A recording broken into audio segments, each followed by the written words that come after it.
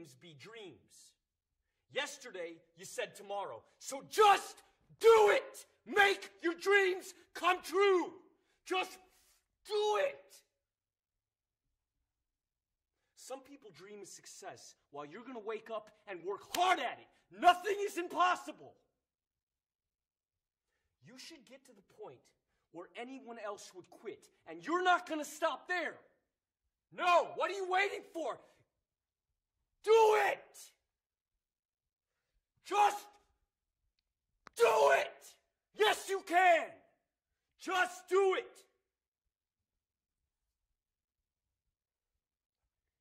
You're tired of starting over, stop giving up.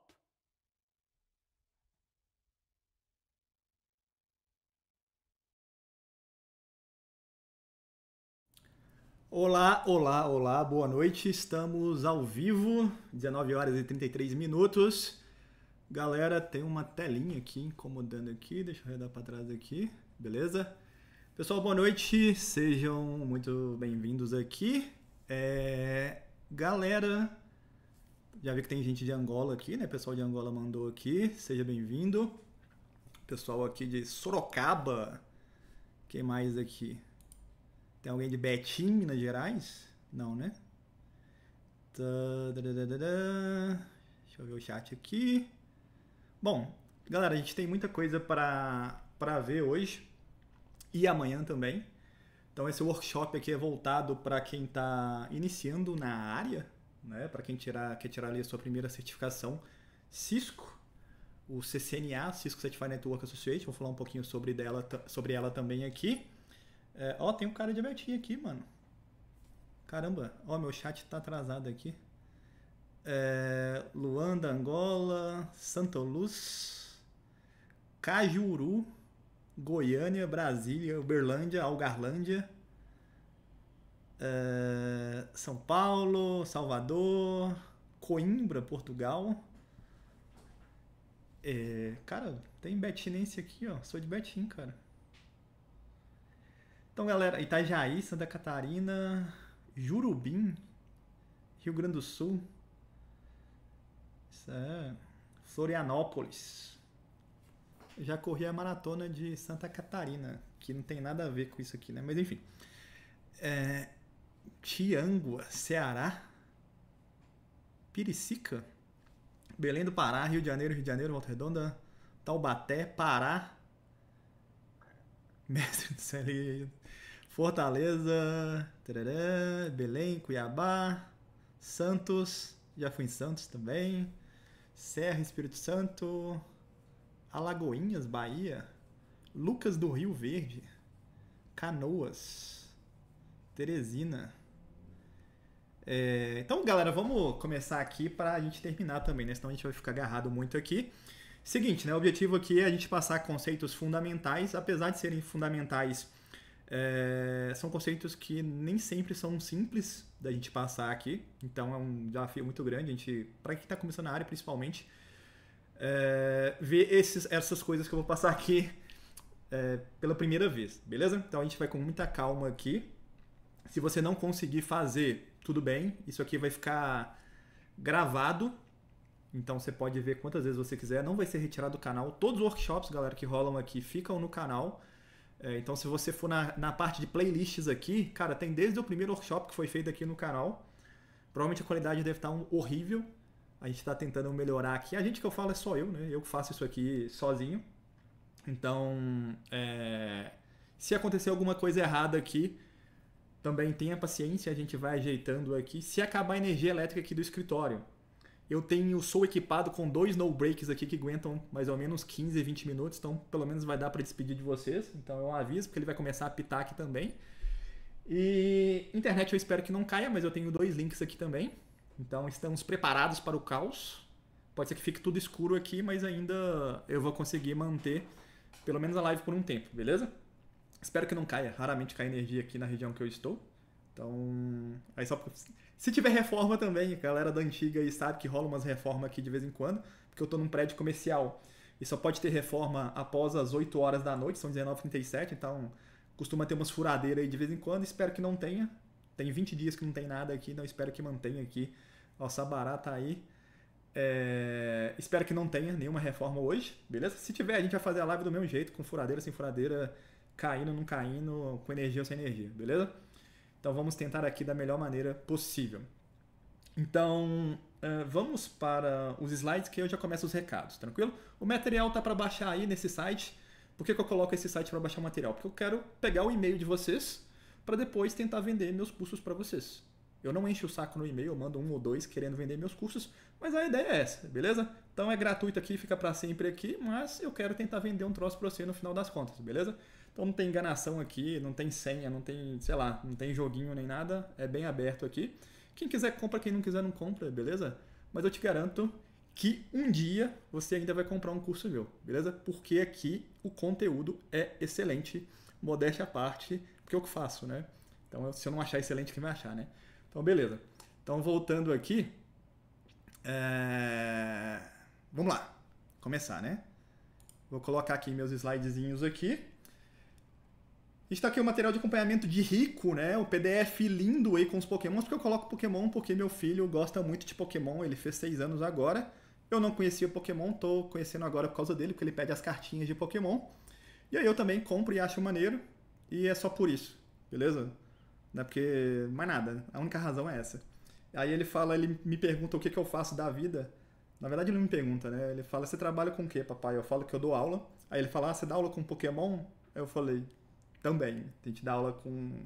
Ah, deixa eu ver os seus material de Pokémon. Aí eu mostro pra ele, ele acha que eu tô ensinando pra vocês Pokémon, tá ligado? É... Mas eu não tô ensinando Pokémon, mas na cabeça dele eu tô ensinando Pokémon pra vocês. E aí, se ele chegar na fase lá do, sei lá, Dragon Ball. Não tem Dragon Ball Z, né? Tem uns troços malditos aí agora. Quando ele tiver com 15 anos vendo aquelas paradas, aqueles troços lá, eu vou colocar aqui também pra. Então, a, a geração que eu tô pegando aqui é de 5 anos para frente, né? Apesar de Pokémon ser antigo. Então, quem tá novinho aí vai pegar. Quem for velho, caduco que nem eu aqui, ficando careca, provavelmente vai achar meio estranho um cara de quase 40 anos falar de Pokémon. Mas tem todo um contexto, beleza? Eu não sou maluco. Então, quem sou eu? Sou formado em Sistema de Informação pela PUC Minas, especialista em gestão de infraestrutura de TI, utilizando software livre e especialista em redes de computadores também pela PUC Minas. Eu atuo há mais de 14 anos com redes de computadores eu também já fui professor universitário aqui em instituições de ensino é, em Belo Horizonte, entre elas a PUC Minas, em Unidade Betim, onde eu formei. Também dei aula na PUC na pós-graduação aqui em Belo Horizonte. E também dei aula na Estácio durante sete anos, se eu não me engano. Estácio do Prado, ali no curso Tecnólogo de Redes. Uh, fui professor manejado desde a primeira turma que eu comecei a lecionar. O que, que isso quer dizer? Nada. Pode ser que eu seja um professor muito ruim e a galera simplesmente estava me zoando. Mas eu acredito que não, espero que não, beleza? E aí também era funcionário público, fui funcionário de iniciativa privada na área de rede também, passei no concurso e fiquei durante 11 anos nesse concurso, também na área de redes de computadores, rede metropolitana de grande porte, e larguei tudo para vender curso na internet e comprem, porque senão eu vou arrepender pelo resto da vida, beleza? É, que mais aqui? Ah, tenho algumas certificações na área, mais relevante é o CCIE, que eu tirei em 2018. O CCE na época chamava Routing Switch, hoje chama Enterprise. Tranquilo? Aviso, né? Todas as aulas e materiais contidos neste evento serão gratuitos e não serão retirados do ar. Então, você é a minha maior propaganda, né? Eu compro muito pouco, muita, pouca propaganda da internet. A meu engajamento é mais de vocês compartilhando, então você compartilhando é, de forma positiva me ajuda pra caramba. De forma negativa, eu dispenso, não precisa, beleza? Se for de forma positiva, compartilha aí pra nós. Você pode usar os materiais aqui que eu utilizo, desde que você cite a fonte, tranquilo? Então, não tem nenhum problema com isso. Obrigado a todos e bons estudos. Certificado de participação. Esse é um troço que gera muito problema, não sei porquê, é tão simples. Cara, durante a live aqui, eu vou soltar uma lista de presença, que é um formulário lá do Google para você colocar seu nome. E aí você vai colocar seu nome completo. Para ter o certificado, você precisa assinar essa lista de hoje e de amanhã. Só isso. Assinou só de amanhã, não assinou hoje. Você não vai ter o certificado. O que está gerando uma confusão também é que tem uma lista também de sorteio. Sorteio das canecas aqui. E aí tem gente que assina a lista de sorteio e depois pede o certificado. Filhão, Tá ligado? Tipo, pô, presta atenção no serviço, caralho. Presta atenção na live aqui, velho. Eu tô falando. Vai ter a lista de certificado para presença, né? E depois a lista do sorteio que rola no final da live, né? Então a gente vai ter sorteios aqui, entendeu? Entendeu? Não, não é muito complexo, né? Você vai assinar uma lista. Porra, não é nada demais, tá ligado? É, a gente vai ter sorteio aqui também das canequinhas. Eu vou sortear também um troço novo aqui, que eu participei de um podcast. Fui convidado pelo pessoal do da Software. Uh, que é esse copinho aqui de café, ó. É maneiro. Tipo aqueles troços americanos, tem uma tampinha. E ele é de. sei lá de que, que ele é, mas é. não é de plástico descartável, tá ligado? Dá pra você lavar e tal. É tipo um troço reciclado. E é maneiro, eu ganhei e vou sortear alguns aqui. E aí tem minha cara aqui, ó, tá ligado? Fizeram uma. Como chama isso, esse desenho? Charge, né? Sei lá. Fizeram esse negócio aqui. E, e tem um bichinho aqui do lado voando, tá ligado? Um passarinho. Não sei se dá pra ver. Esse passarinho aqui chama Calau. Que é o mesmo que tem lá no Rei Leão. Outro dia eu fui ver Rei Leão com meu filho. É bambu? Parabéns. Não sabia que era bambu. Parece plástico. Mas se é bambu, você falou. Aí tem muitas piadas com bambu que não são possíveis de falar agora. Aí a gente tem a canequita aqui do, da caveirinha. Caricatura, parabéns. Tem a canequinha aqui da caveirinha, tá ligado? Que é do Switchport uh, Trunk Aloe de Velan, que você derruba a rede com isso aqui. Um dia você vai entender porque que você derruba redes aqui quando você derrubar. E tem a outra canequinha que é a, a arte de redes mais copiada, quibada que eu fiz que é o Trio Eye Handshake, né? O bom, bom eu sei, e bom também. Galera, quem ganhar a caneca pode demorar até 90 dias para chegar a caneca. Não enche meu saco, beleza? Por que, que demora tanto?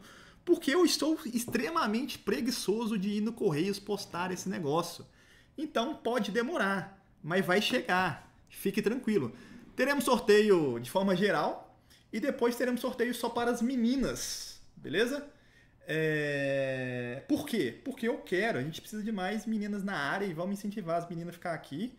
E aí vamos dar essa canequinha exclusiva para elas. Então, se tiver cinco meninas aqui, vai ter sorteio para essas cinco meninas. Se tiver uma menina aqui, ela já ganhou, porque só vai ter o sorteio para uma, vai ser para ela, tá ligado? Então, meninas, teremos sorteio só para vocês. É... E para os meninos aí também, né? Beleza? Para os marmanjos, velho. Galera, vamos respeitar as meninas aí, porque tá foda, né? É... que mais? E aí a gente vai para aula. Eu estou tomando meu café. Ó, meu café tá aqui. Eu não uso aquele negocinho que põe em cima, aquela tampinha, porque você tem que ficar com um biquinho assim, sei lá. Eu acho meio ruim.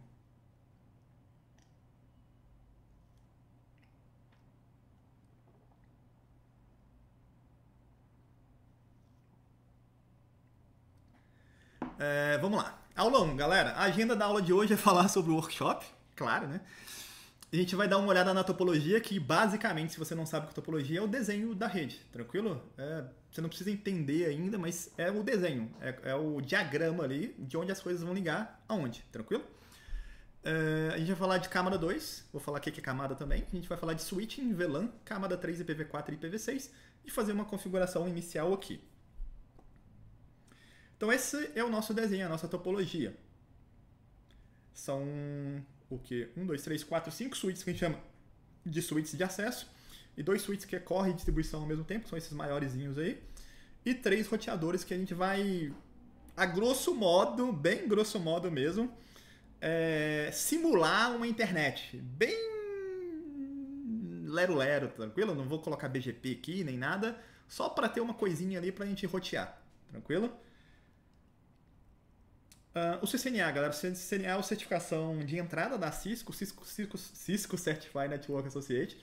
É a primeira certificação, na verdade existe uma antes, que é o CCT, mas eu não recomendo você gastar dinheiro com ele. Se você quer juntar dinheiro para fazer algum exame, já vai para o CCNA.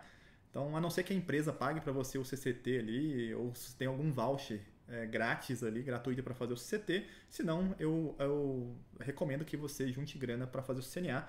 A prova custa, se eu não me engano, 300 dólares. Você tem ali 170 minutos ou 150 minutos para fazer a prova. O exame é em inglês, infelizmente. E ele aborda dezenas de tópicos para quem quer ali entrar ou já está atuando na área de redes no nível júnior, entre aspas, beleza? Então é um exame muito complicado porque ele é bem extenso, né? Ele é bem grande. É, normalmente a gente não está acostumado com o nível de exigência de pontuação nas nossas faculdades. Então, para você passar num exame desse, você precisa de pelo menos 80%, 83%, 85% de acerto na prova. Para você passar na faculdade, você precisa de 60%, algumas 70%, né? Então a gente não está acostumado. Outra coisa é que no exame são provas múltipla escolha e tem laboratórios também, tem questões práticas, né? Que vai abrir lá um terminal para você fazer alguma coisa. E você não pode revisar as questões. Você apertou para frente para ir para a próxima questão, você não pode voltar. Outra coisa que a gente não está acostumado, né? A gente está acostumado a sempre poder revisar a prova. Tanto é que a gente, quando eu dava aula na faculdade, tinha uns caras que ficavam chocando a prova, né? O cara não sabia porra nenhuma e ficava lá duas horas para fazer a prova sem saber porra nenhuma, né? Ficava, acho que Deus ia descer ali e dar a resposta para ele, né? É, mas enfim, no exame de certificação você só, da Cisco você só anda para frente, você não pode revisar. É, e são questões de múltipla escolha, com mais de uma resposta. Às vezes ele te fala quantas respostas tem, mas é um exame bem complicado, né? Tem gente que acha fácil, às vezes o cara já está na área já há algum tempo e já acha simples, mas se você pegar um cara que está iniciando, hoje é, não é um exame simples, beleza? Eu fui reprovado na minha primeira tentativa, passei de segunda em 2009, se eu não me engano. E tem toda a questão de você ficar muito nervoso. Tem pessoas que não conseguem fazer prova e isso é normal. Né? Tem todo o estresse ali da grana que você está pagando, não é barato. E é em dólar, não divide. Né? Então tem sérios problemas aí com essa prova. Mas enfim, é, o benefício da certificação para quem faz é que você vai ter ali, entre aspas, um badge, um distintivo daquele fabricante, no caso aqui é a Cisco, de que você fez a prova e sabe alguma coisa. É, garante que você garante que você que você vai conseguir um emprego, vai ficar rico, enfim, não, não garante nada disso. Garante que talvez, quer dizer, não garante nada, né? É, nem faculdade, nem nenhuma outra coisa vai te garantir nada. Mas qual a opção que você não tem, né? Se você não vai estudar para certificação, que você vai fazer uma graduação da vida. A outra coisa também, não substitui o ensino formal. Você ainda vai precisar ter uma graduação, você ainda vai precisar, se quiser fazer uma pós, esse tipo de coisa, é, certificação não substitui é, um ensino formal, tranquilo? Longe disso, é, quem fala isso é maluco ou então já tem ali a sua graduação, né? Quem acha ruim ter graduação é só quem já tem, né? Quem não tem, velho, corre atrás porque a parada, a parada é, é, é necessária, tranquilo? Então, você, as empresas também, né? Elas procuram profissionais certificados, as empresas privadas, porque Algumas têm algum nível de parceria com o fabricante, precisam de profissionais certificados para pegar projetos daquele fabricante. Uh, empresas públicas, por exemplo, para contratar ali algum serviço de uma empresa dessa, uh, solicita no seu edital que tem ali profissional certificado naquela empresa, então pode acontecer também. Algumas provas de concurso já vem também no edital falando que se o fulano tiver certificação X, ele vai ter, sei lá, 5 pontos a mais no final ali da pontuação. Então, então é... essa é a ideia. Galera, meu áudio não tá baixo não, cara. Meu áudio tá estourando aqui no Rode, eu coloquei no máximo. Beleza? Já tá chegando aqui no vermelho no Rode, cara. No, no, no OBS. Então não tá baixo não, galera. Tá, tá aqui, ó. Ó, já tá no laranja aqui, ó. Se eu falar mais alto que isso, vai começar a estourar. Tranquilo? Na verdade já tá estourando um pouco aqui, ó. O meu áudio já tá estourando aqui, ó. Então mais que isso vai começar a ficar chiado. É, vou tentar falar mais alto, ó, já tá chegando ali no vermelho, então vai ficar estourado aí para alguns. Acho que eu que tô falando baixo, né? É, aí, galera, áudio ok, áudio ok. É, é, enfim, vamos continuar aqui. Uh, o que eu estava falando da certificação, né? Então, enfim, existem vários benefícios para a certificação, mas não é aquela parada de mudar a vida da pessoa, você vai ficar rico, você vai ganhar em dólar, trabalhar home office e vai ganhar 6 mil reais no seu primeiro emprego. Não vai, cara, não vai mesmo, beleza? Certificação, é, o que, que a certificação me ajudou na minha carreira? Cara, a seguir estudando, beleza? É, eu colocava lá a meta, pagava, e aí eu falava, cara, pô, já gastei a grana, já gastei a grana e, e, vou precisar estudar, tá ligado? Não vou perder essa grana. Então, para mim, ajudou isso, tranquilo? Então, sendo bem sincero para vocês, pode ser que você seja chamado para uma entrevista porque você tem o CCNA, pode ser que sim. Quer dizer que você já passou na entrevista? Quer dizer que você já está empregado? Não. É, na entrevista você vai ter que provar seu valor ali também. É, então, cara, assim, não existe milagre em nenhuma área, né? Essa galera que vende sonho aí, esse tipo de coisa, em qualquer área, né? Todas as áreas têm. Ah, fique milionário vendendo curso na internet, fique milionário fazendo day trade, fique milionário. Quem fica milionário é só os caras que vendem os cursos de fazer isso, tá ligado? O resto, velho, tá gastando grana ali. Então, sendo bem sincero, os treinamentos que eu vendo são apenas treinamentos. Eu gosto da qualidade deles porque fui eu que fiz. Agora, não é nada mais que isso. Você precisa estudar. Você precisa sentar ali na cadeira e estudar. Você comprar um treinamento meu, você vai ficar rico? Não vai, tá ligado? Vai morar na Conchichina do caralho do sei onde? Não vai, tá ligado? Então, é bem, bem essa parada. Então, galera, estudar, estudar, estudar. É, baixar e instalar o Packet 3, eu fiz um vídeo sobre isso, né? Então, deixei aqui no slide também. Objetivo da aula 1. Né? A gente vai configurar os switches aqui que a gente chama de switch de acesso, que é o switch que dá acesso ao dispositivo final do usuário, no caso aqui os computadores. Então a gente vai fazer a conexão dos switches com o switch core. Então a gente tem um switch e vai conectar em outro switch. Eu vou explicar porque a gente vai fazer isso. Então cada andar aqui é como se fosse um prédio, essa estrutura aqui.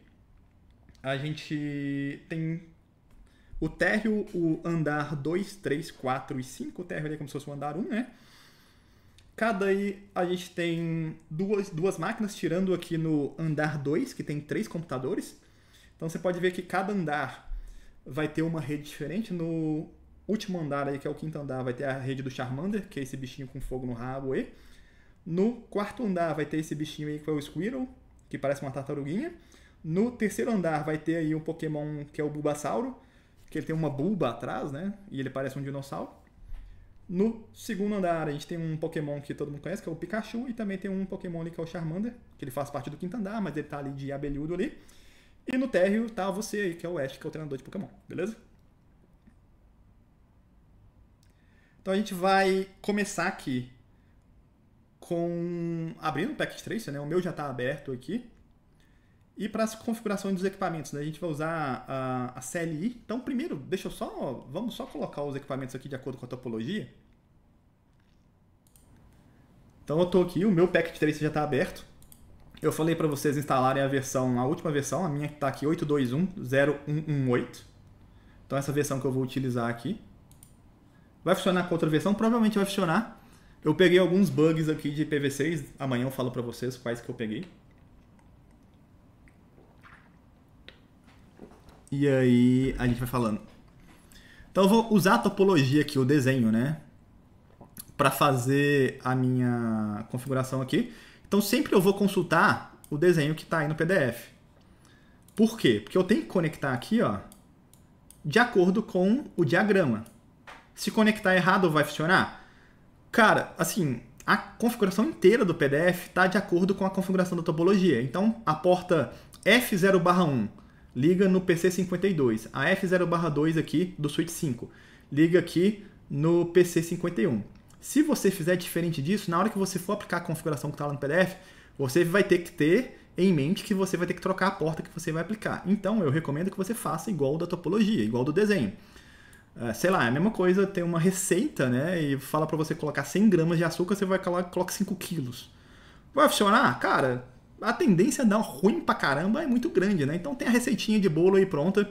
É... Você vai seguir ela, eu espero que você comece a entender, né? De primeira, talvez seja difícil, mas à medida que você for praticando isso aqui, você vai começar a entender melhor, pegar problema, né? Esse tipo de coisa. Então a, a ideia aí no início é você fazer eu e você de mão dada juntinhos, tranquilo? Eu vou levar vocês, guiar, guiar não, né? guiar vocês pelo caminho de redes. Então pega na minha mão e vamos lá.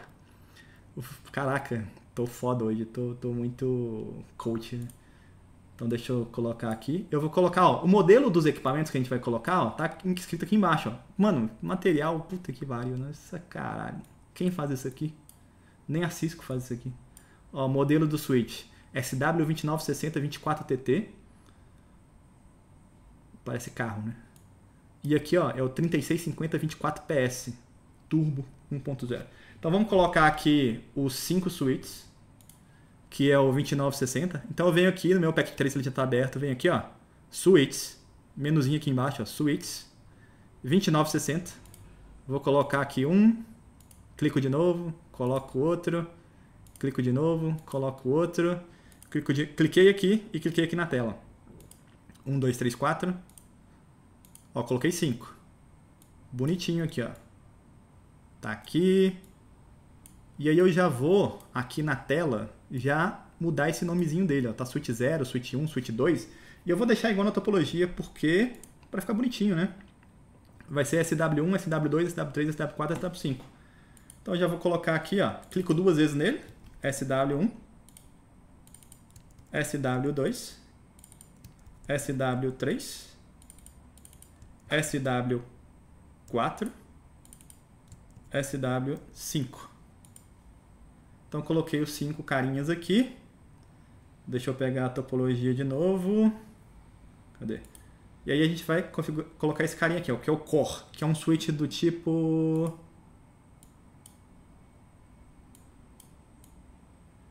Trinta e seis cinquenta.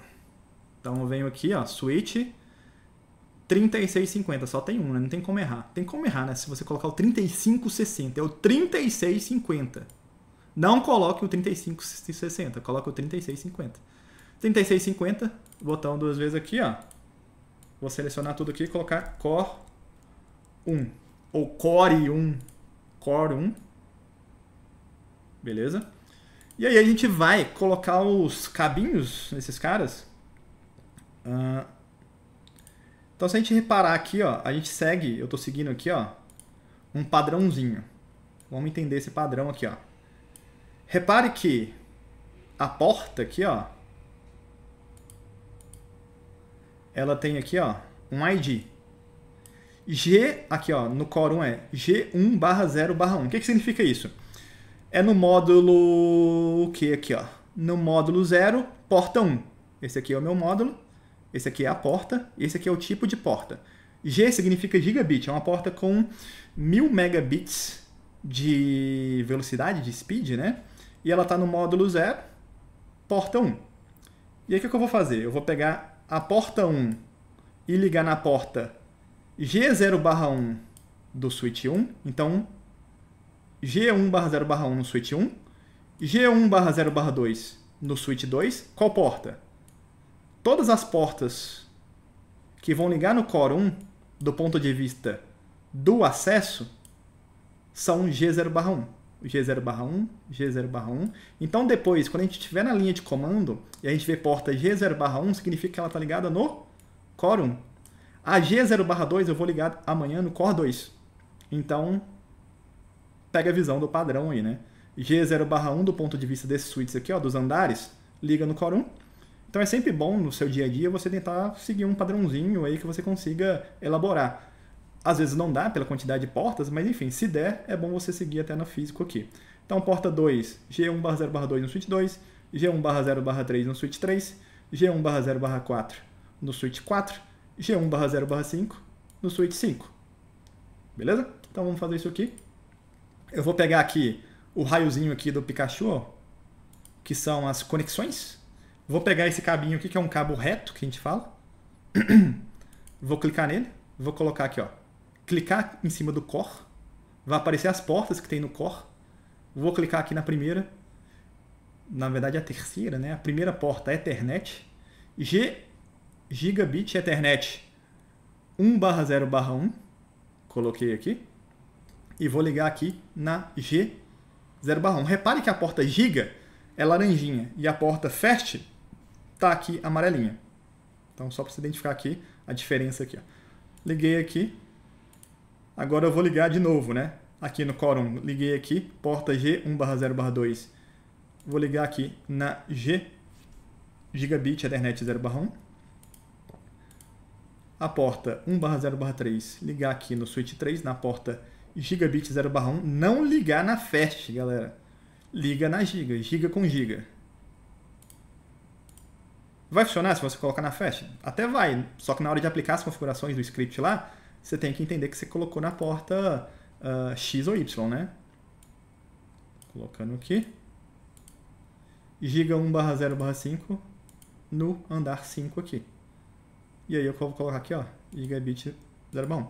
Tem como eu mostrar aqui, ó, qual porta que eu liguei. Se eu passar o mouse aqui em cima, ó, ele me mostra, ó. Tá vendo? Passei o mouse aqui em cima, ele me mostra. Passei o mouse em cima do cabinho aqui, ó, ele me mostra.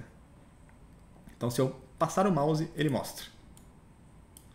Beleza? Agora eu vou ligar os computadores. Quantos computadores a gente precisa? De acordo com a topologia aqui, a gente precisa de 1, 2, 3, 4, 5, 6, 7, 8, 9, 10. 10, 10 computadores. Então a gente vai colocar aqui, ó, end device. Vou colocar aqui PC0, PC1, e aí eu vou colocando esses caras aqui, clico aqui, clico na tela, clico aqui, clico na tela, clico aqui, clico na tela, clico aqui, clico na tela. Aqui no quarto, no segundo andar tem três computadores, né? E aqui no primeiro andar tem dois. Quais são os nomes, né? Do quinto andar também a gente está seguindo um padrão, né? Dos andares aqui, ó. Computador 1 do quinto andar, estou chamando aqui de 51. Aí o segundo 52, aí 41, né? PC, né? 51, PC 52. Então o ID aqui me dá a ideia de onde ele está, né? 31, 32 ou a rede que ele está. 21, 22 e esse aqui 53, apesar dele estar tá no segundo andar. Ele está com um ID aqui, que é o do fogo no rabo aqui do Charmander. Então vamos aqui. Então esse aqui.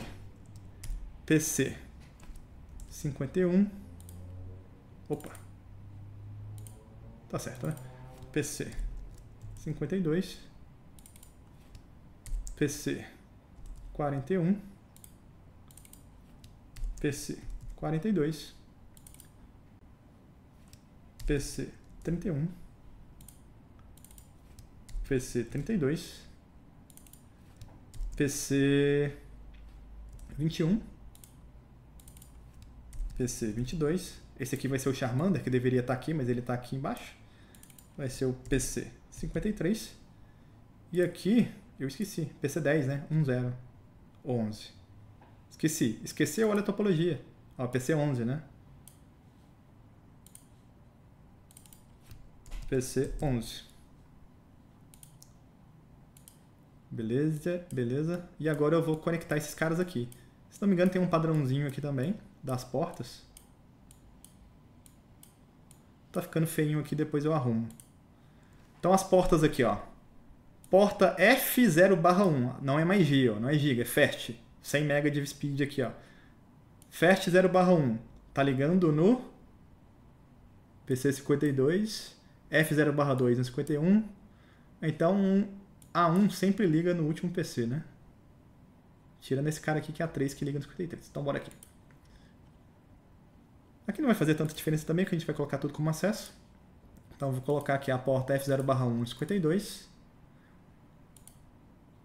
Então, olha só. Cliquei aqui no switch selecionei a porta, clico no PC, selecione a porta, fast. Não tem como eu lugar um cabo de rede na porta USB, né? a não ser que você tenha um adaptador. Liguei aqui, porta fast 0/1 aqui no 42. Liguei aqui a fast 0/2 aqui no 41. Liguei aqui a fast 0 barra 1 aqui no 32, na fast 0 dele. Switch 3 aqui, fast 0 barra 2, fast 0. Liguei aqui do switch 2, fast 0 barra 1 no 22. Liguei aqui a fast 0 barra 2 no 21. E aqui a fast 0 barra 3 no 53. 3 na porta fast 0 dele. Ah, tem um sniffer, né? Esqueci. Obrigado. Deixa eu só ligar esse último cabo aqui, ó. F0 barra 1 no... Tem dois negocinhos aqui que eu esqueci, né? Tem esse cara aqui, ó, sniffer 1 e sniffer 0. Então a gente vem aqui, eles estão ligados onde? Estão ligados aqui no PC 52, na, entre, né? Aqui, ó. Entre essas portas aqui, ó. E essa aqui. Então a gente vai pegar aqui o sniffer. Onde está o sniffer mesmo? End device. Aqui, ó. End device. Tem aqui um sniffer. É um farejador que a gente vai colocar aqui para xeretar o tráfego. É um grampo que a gente está colocando aqui na rede. Então eu vou colocar aqui o sniffer 0. Ele está aqui embaixo, ó, entre a porta F0/2 e o PC31. Então deixa eu desconectar esse cabo. Como é que eu tiro esse cabo? Venho aqui, ó, em cima aqui, nesse backspace, nesse delete. Venho aqui, ó, e clico no cabo. Ainda está deletando. Eu volto aqui, seleciono isso aqui. Agora não está deletando mais. Vou colocar o sniffer aqui, ó. Venho aqui no cabo, seleciono aqui o cabo que eu quero. Porta 0/2 ligo em alguma porta do sniffer. E aqui a gente criou o nosso grampo aqui, beleza? Então, o nosso grampo está feito aqui. Depois a gente vai usar isso para alguma coisa. E aqui em cima, entre o switch 5 e o 52, na porta F0/1.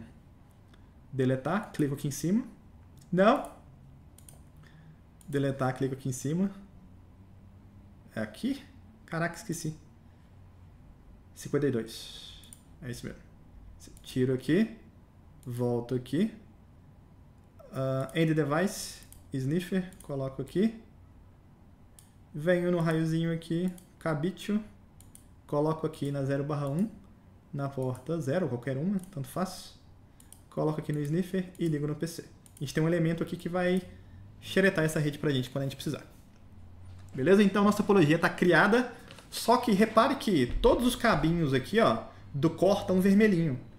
Por que será? Se eu clicar aqui no core 1, e vier aqui, por exemplo, CLI, ó, device must be powered on. O dispositivo precisa ser ligado. Então esse cara aqui tem uma frescurinha aqui, a gente precisa colocar uma fonte nele, ó, para ele ligar. Então eu pego esse cabinho de energia aqui, ó, clico seguro, arrasto, coloco aqui. Ele tem até fonte redundante, né? Se eu quiser eu posso colocar duas. Então ele ligou aqui agora na tomada. Vocês podem ver que ele vai começar a ligar aqui, ó. Ó, tá carregando a imagem dele, o sistema operacional.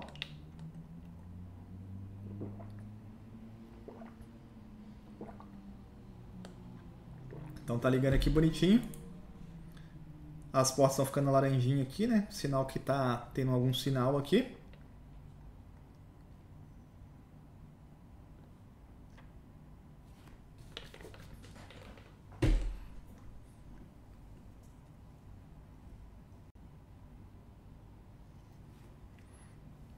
Vamos esperar ficar verde aqui. Ah, ficou verde. E agora, show, vamos salvar. Só Jesus salva e o disquetezinho aqui também salva. Venho aqui e vou salvar aqui como hum, workshop CCNA segunda edição. Beleza.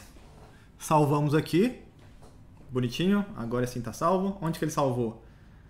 Lá dentro do, da pastinha padrão do... Aqui, ó user Gustavo, tarará, Cisco Packet Trace, saves, tarará. Você pode salvar onde você quiser. Beleza, vamos voltar aqui para o nosso slidezinho. Beleza, galera, configuração básica dos equipamentos. A gente vai usar Command Line Interface aqui para fazer a configuração, a CLI, que é você digitar comando e ele vai fazer alguma coisa. Então, os equipamentos da Cisco ele tem alguns modos de configuração. A gente tem um modo usuário, a gente tem um modo privilegiado, a gente tem um modo de configuração privilegiado avançado. Enfim, Basicamente, quando você entrar em algum equipamento Cisco, ele vai estar com esse sinal de maior aqui, ó, esse maiorzinho. Quando você está nesse terminal que está com maior, ele, ele, você não consegue uh, fazer alterações no equipamento. Você consegue dar simplesmente comandos básicos. É como se você puder, você tivesse com acesso somente leitura, talvez, enfim. Aqui nas configurações, galera, nos slides, sempre quando tiver CLI, linha de comando para vocês executarem, toda linha vai ter um número. Então, se você está com dificuldade em alguma linha específica, você fala no chat aí, fala a página que você está e a linha que você está, alguém vai tentar te ajudar, beleza? No final da live aqui também eu fico um tempinho para tentar ajudar a galera que ficou meio perdida, ou você pode rever a live também, que vai ficar gravada, ou você pode me mandar e-mail também com a dúvida, beleza? É... Tente quebrar a cabeça antes de me mandar e-mail, beleza? Não manda e-mail, fala, cara, quantas vezes você tentou, né? Nenhuma. Eu só fiquei com dúvida aqui e tal. Se for coisa teórica, beleza. Agora, se for de config, tenta fazer a config. Aí aqui a gente tem o modo de configuração e a gente tem aqui o comando que a gente precisa executar. Né? Então, por exemplo, estou no switch quero mudar de modo de operação dele, de modo de configuração, eu vou dar o comando enable, ou esse enable aqui. Esse enable, aperto o enter, eu executo o comando. Então, os equipamentos da Cisco de nível uh, mais comum, né, eles não têm nenhuma confirmação.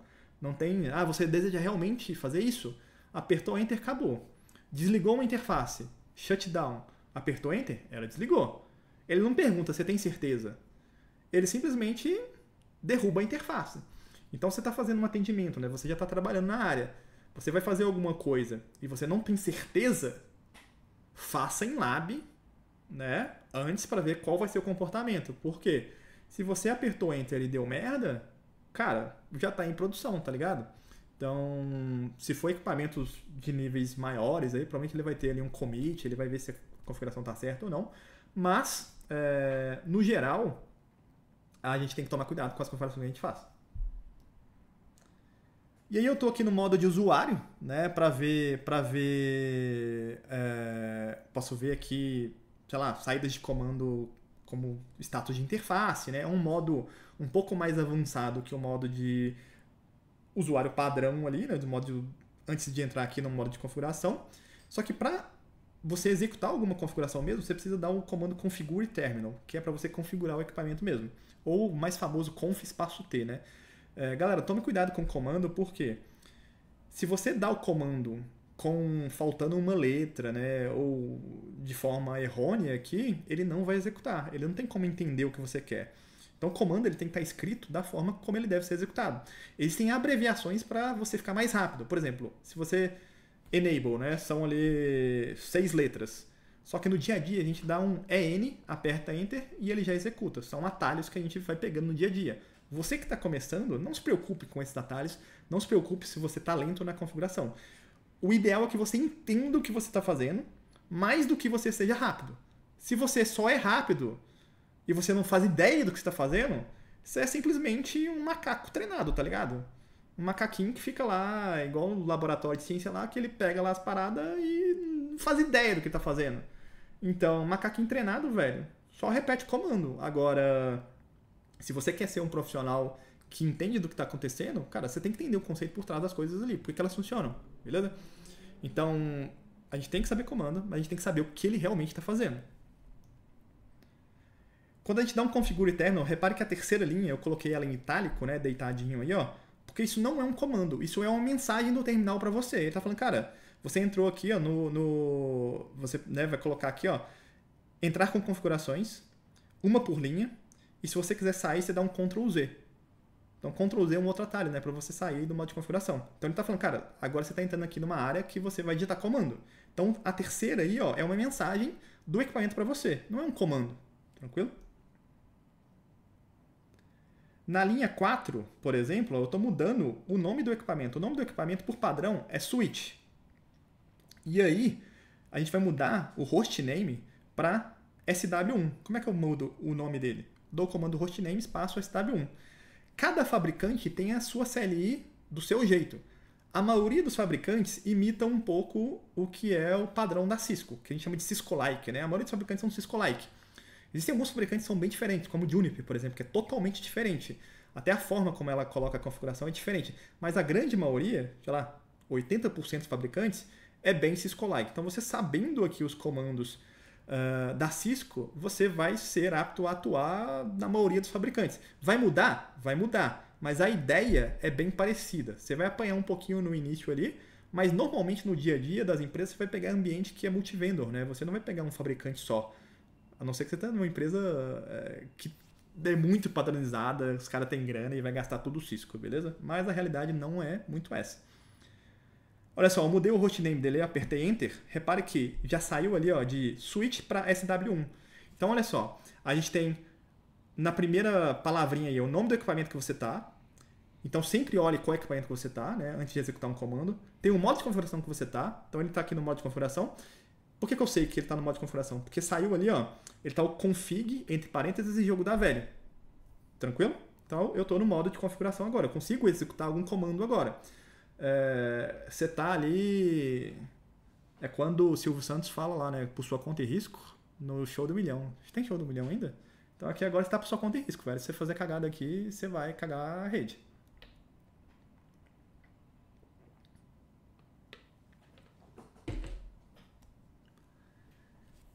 Se eu der o comando end, é como se eu estivesse dando um Ctrl Z para sair de modo de todos os modos aqui, né? Eu volto lá, por exemplo, o jogo da velha. Então ele deu uma mensagenzinha aqui também, ó. Configured from console by console. Para eu salvar a configuração, eu digito, ele já executa e põe em produção. Só que se eu, reiniciar o equipamento, a configuração que eu fiz perde. Porque ela não está na memória não volátil, né? não está na memória permanente do equipamento. Ele está na memória como se fosse uma memória RAM. Está rodando ali, mas se acabar a energia, ou se ele reiniciar, ele vai perder. Para eu gravar na memória permanente, eu tenho que dar um copy running, que é na flash, na verdade. Copy running config, running config é a memória que está rodando ali agora. E para eu copiar para a memória permanente, eu vou dar um copy running config para startup config, que é o arquivo de configuração que ele lê quando ele está iniciando o equipamento. Tranquilo? Ou simplesmente você pode dar um WR, que é o write. Ou você dá um copy, espaço running config para startup config, ou dá um WR, que é um, como se fosse salvar. Tranquilo? Eu prefiro dar WR, né? Ele fala aqui, ó, destination file name padrão? Sim. Ele vai dar um build configuration, né? Ele está escrevendo na configuração, salvar. Então é muito comum também, né, para iniciante, às vezes faz a configuração inteira do equipamento, beleza, tá bonitinho, funcionou.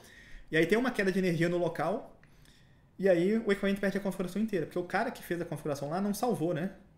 É, então, quando tem queda de energia e volta sem, sem a configuração, é porque o último cara que fez a alteração lá não salvou a configuração. É o Júnior, né?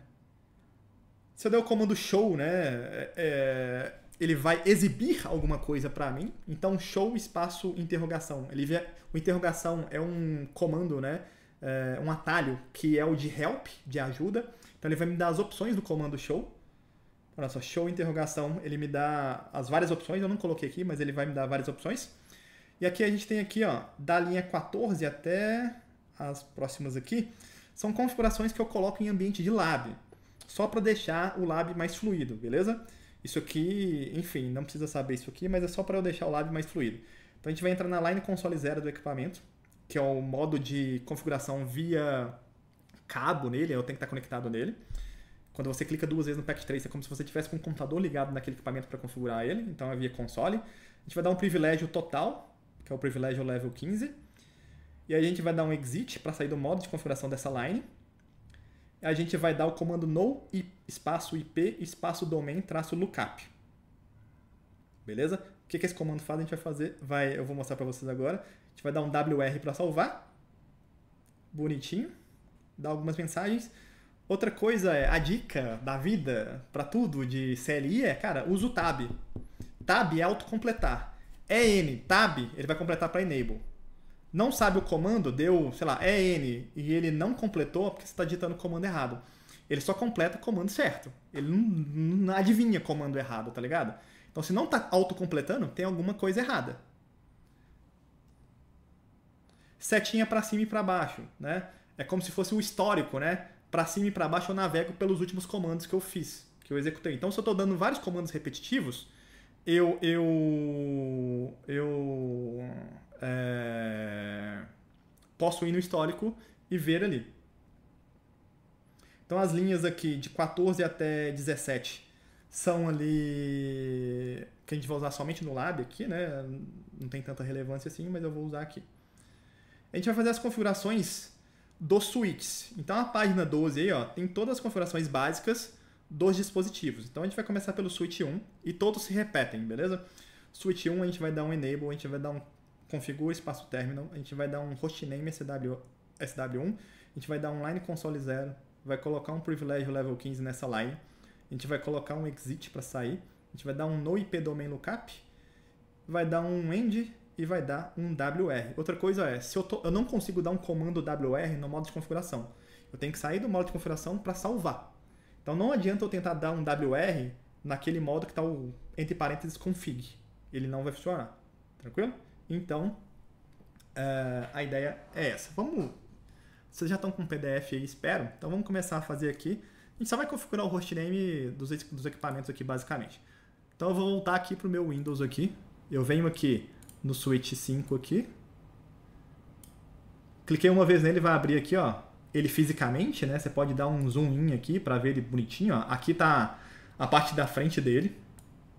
E aqui é a parte de trás, onde tem a tomadinha aqui, ó, atrás. Beleza? Repare que switch aqui não tem botão de power on nem power off, né? Não sei porquê. Vamos dar aqui um CLI aqui. Ó, tô aqui no switch 5.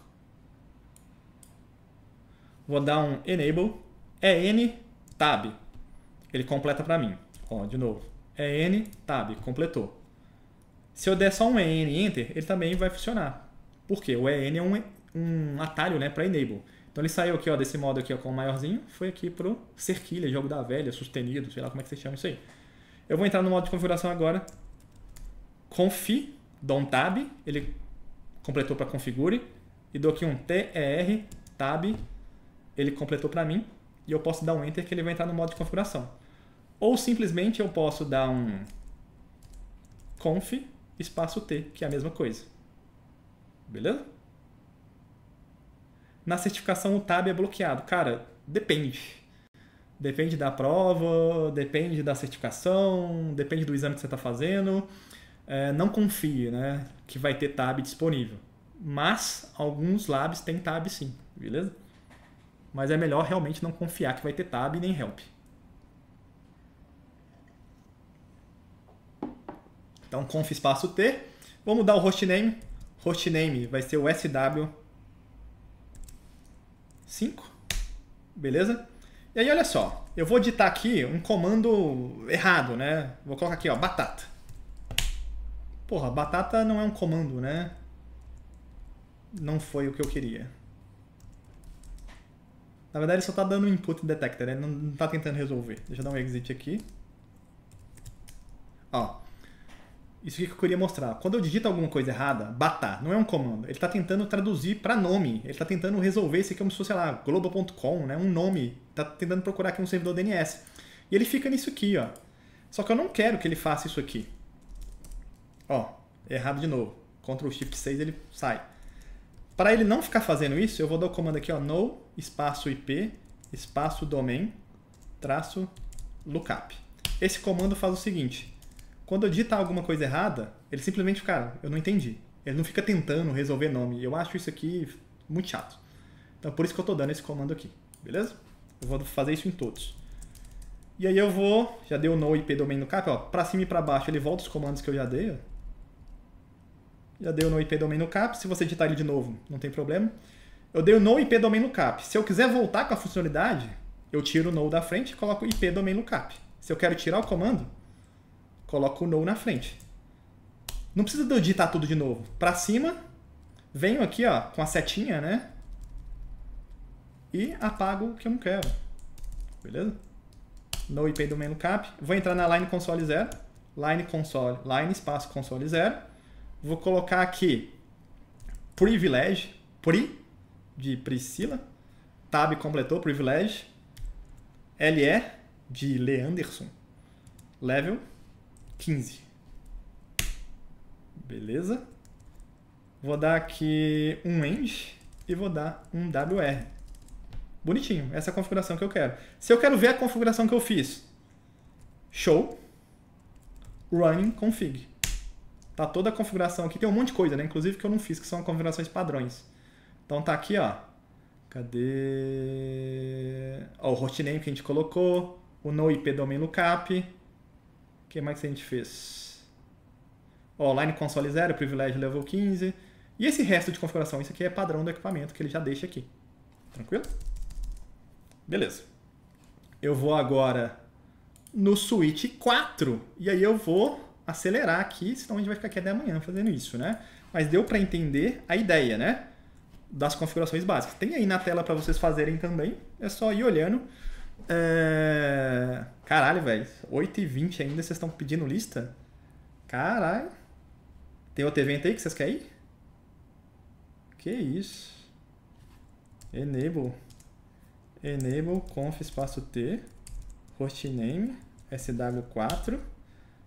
É, no IP. Domain. Lookup. line console 0 privilege level 15 and WR. Beleza? A lista hoje é meia-noite, fi. Pro Aleilson, então, já vai estar tá com check lá na lista. Cada vez que pede é um check. É, beleza, fizemos aqui o switch 4. Vamos para o switch 3. Então é a mesma coisa, né? Inclusive, se você quiser, você pode fazer um scriptzinho. Que é pegar, por exemplo... Caramba. Pegar, por exemplo, um bloco de notas e fazer assim, ó, enable conf espaço t hostname sw, sei lá, sw3. Vou colocar aqui no IP domain traço lookup. Vou dar aqui um line, espaço console 0. Vou colocar aqui um privilege level 15. Vou dar um end, vou dar um WR e vou dar uma exclamação, que simplesmente uma exclamação aqui é um enter. Então isso aqui é um scriptzinho. Eu posso simplesmente agora dar um Ctrl C aqui, ó. Ctrl C. Vir aqui no switch 3 botão direito, colar, e ele já configura para mim, olha só. Que maravilha de Deus! Bonito, né? Vamos fazer pro Switch 2? A configuração não é igual? Eu mudo só o hostname, ó. SW2. Ctrl C. Switch 2. CLI. Aperto Enter aqui algumas vezes. Botão direito, colar. Switch 2. Vou pegar aqui o switch 1. Cisco Prime, vocês são muito ricos, velho. Ctrl C. CLI. Configuração repetitiva. Script nele, né? Bonito. Show. Fechou. Beleza? Configuramos o host. Ah, agora falta o core, né? Vou colocar o core 1 aqui, ó. Core 1. Ctrl C. Vem aqui no Core 1. CLI. Ó, o Core 1 tem um modo diferente né, de operação. Ele é um switch maior. Ele tem... Ele tem aqui, ó, um modo setup, né? Cara, você quer entrar no modo setup? Sim ou não? Yes or no? Cara, eu não quero modo setup. Eu não sou bebê. Quero ir na unha aqui, ó. Beleza? Modo setup como se fosse um modo next, next, finish, que ele vai te dando opções ali para você configurar. E aí eu copio agora, de novo, o script que eu fiz aqui, ó. Vocês estão entendendo que esse script que eu fiz é simplesmente os comandos que eu quero digitar linha por linha, só que eu coloquei num bloco de notas e estou copiando e colando. Ctrl C aqui, ó. Só para deixar mais rápido aqui essa parte. Beleza? Core 1 aqui, tudo bonitinho. Salvei também, né? WR aqui no final é o write, né? O copy running config startup config, é a mesma coisa. Beleza? E eu vou salvar a minha topologia aqui em cima. Não adianta você salvar aqui se você não salva aqui no Packet Tracer. Beleza? E aí a gente volta lá para os slides. Aí tem toda a configuração que a gente fez aqui. Não vou passar ela de novo. A gente entra aqui numa teoriazinha. Teoria aqui de modelos e camadas, né? Bem de forma bem resumida, né? Ninguém vai sair daqui expert em rede e com emprego garantido, longe disso. Mas a ideia é talvez despertar curiosidade para você que estude um pouco mais um pouco aí, beleza? Então, primeiramente, né, a gente fala de um mundo sem padrão aqui, um mundo sem padronização de comunicação, de computadores, né? A gente tinha 1970, antes de 1970 alguma coisa, né? A gente tinha ali rede fabricante IBM, maior fabricante do planeta. A gente tinha HP, talvez, ou DEC, né?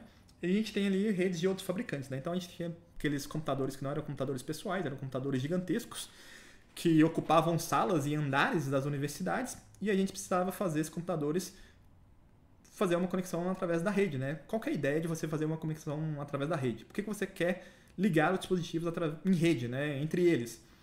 Para compartilhar recurso, algum tipo de recurso, né? Você quer compartilhar arquivos, você quer, na época, sei lá, artigos, informações, trocar mensagens, né? Então a ideia é, é, é você compartilhar alguma coisa, né?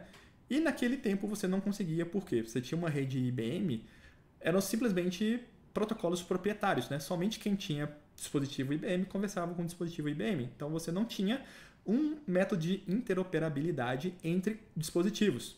Né? Então, se cada fabricante segue o seu próprio padrão, como é que eles vão né, se comunicar com diferentes fabricantes?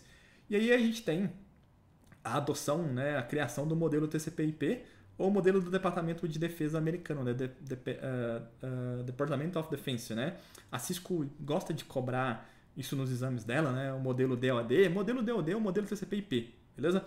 Por que, que é DoD, né? Department of Defense? Porque, enfim, né? Tem algumas bibliografias sobre isso, algumas até contraditórias, mas foi feito ali pelo governo americano, Departamento de Defesa, uma requisição para a sociedade, falando, cara, a gente precisa aqui que seja desenvolvido algum tipo de comunicação que se alguma parte dela for rompida ou for destruída, a comunicação ainda consiga uh, ser roteada por um outro caminho, né, ou comutada por um outro caminho, né?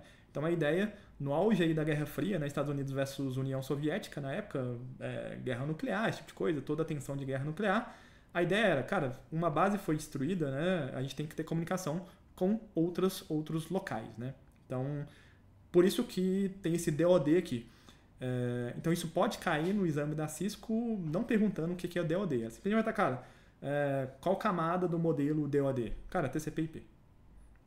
E aí você tem ali o TCP/IP, que é o cara que vai fazer né, um protocolo ali intermediário que vai fazer essas redes se comunicarem, né? Então você tem ali, quando a IBM quer falar com um outro fabricante, ela manda ali para um dispositivo que vai fazer a tradução da rede dela para a rede TCP/IP e do TCP/IP na outra ponta vai ter ali também a tradução para a rede ali, sei lá, da HP, tranquilo? Então no início, né, ela, esse protocolo não foi adotado direto no dispositivo, era simplesmente um protocolo intermediário, mas com a adoção, né, desses caras, acabou que o TCP/IP ele simplesmente foi adotado já diretamente nos equipamentos dos fabricantes, né? Então qualquer dispositivo que você compra hoje, celular, é, qualquer coisa que comunique em rede, tem ali a pilha TCP/IP uh, é, no sistema operacional desses caras, né? Então, por um período, né, os fabricantes utilizavam TCP/IP para falar em, com outras redes, até que todos os dispositivos de todos os fabricantes começaram é, nativamente a implementar TCP/IP. E o modelo OSI, né? A gente estuda aí na faculdade, provavelmente curso técnico modelo OSI, e por que a gente tem dois modelos, né?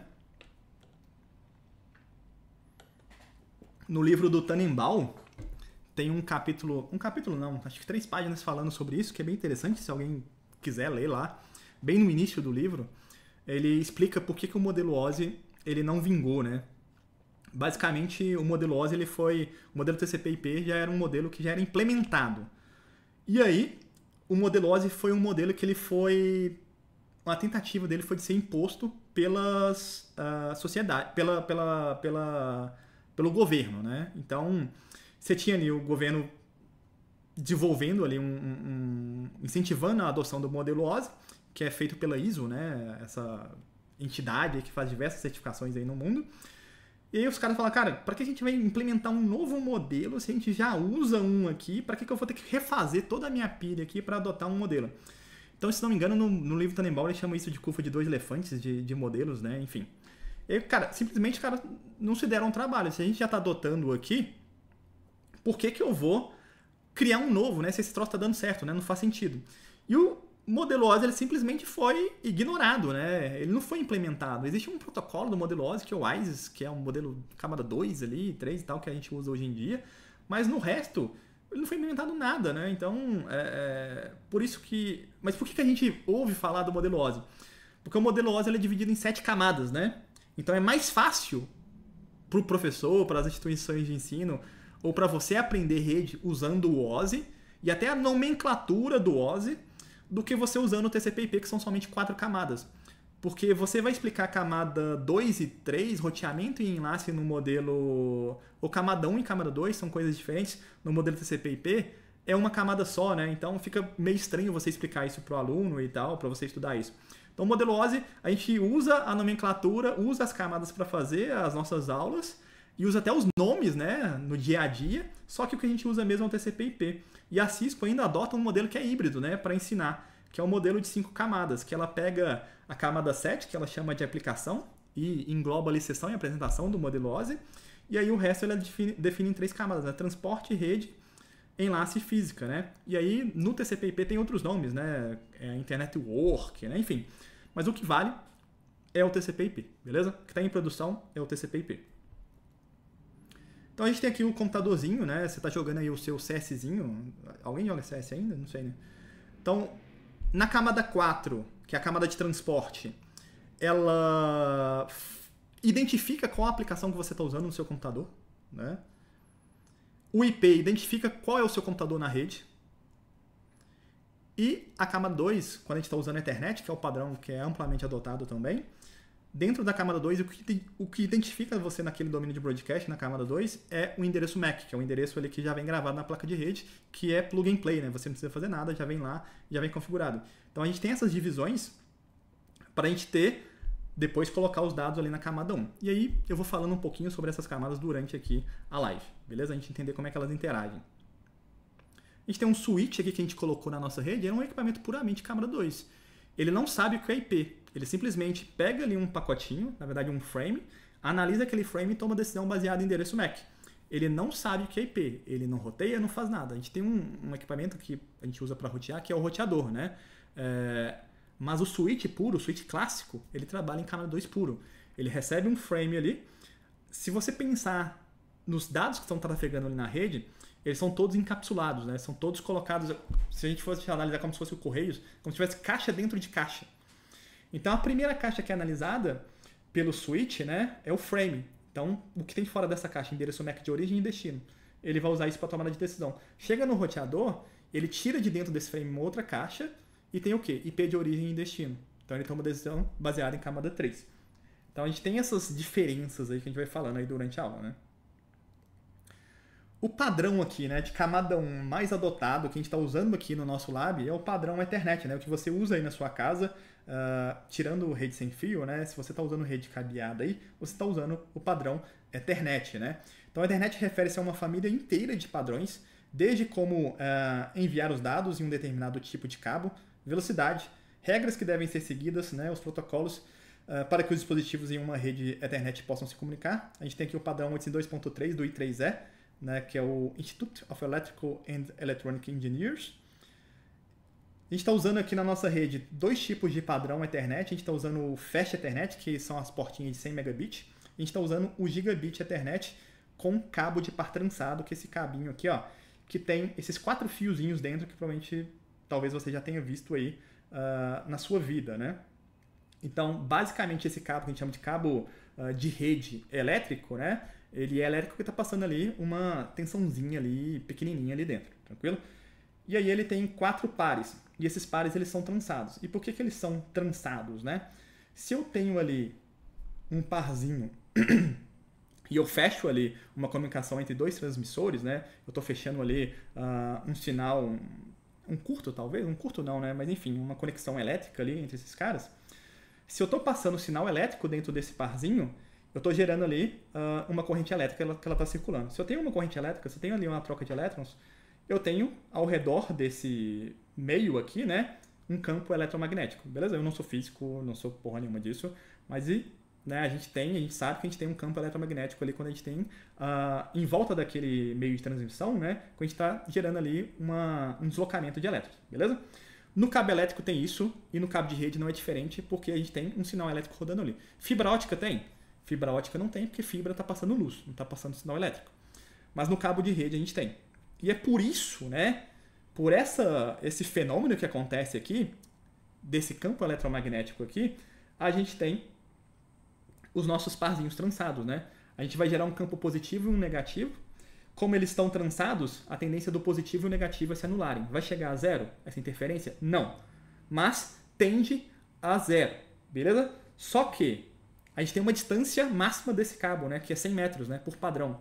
Sempre quando eu falava isso na aula, na faculdade, tinha alguém que falava, cara, professor, eu uso 150 metros lá na minha empresa e funciona. Funciona, mano, mas tá fora do padrão, tá ligado? Você não tá atingindo o desempenho máximo daquele cabeamento. Tranquilo?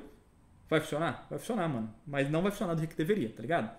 É, você pode pegar, sei lá, um, um, uma Ferrari e colocar um motor de Fusca, tá ligado? Pode, tá ligado? Vai funcionar? Vai funcionar, mas o carro vai andar? Vai andar, mas não vai andar como deveria, tá ligado? É, NIC, né, que você vai ver muito em prova em inglês, né, que é o Network Interface Card, que é a placa de rede. Quando você vê NIC, cara, placa de rede, tranquilo? Então essa plaquinha de rede aqui, a gente está fazendo tudo cabeado aqui no nosso lab. No CNA já cai rede sem fio, né? Já tem um módulo inteiro de rede sem fio.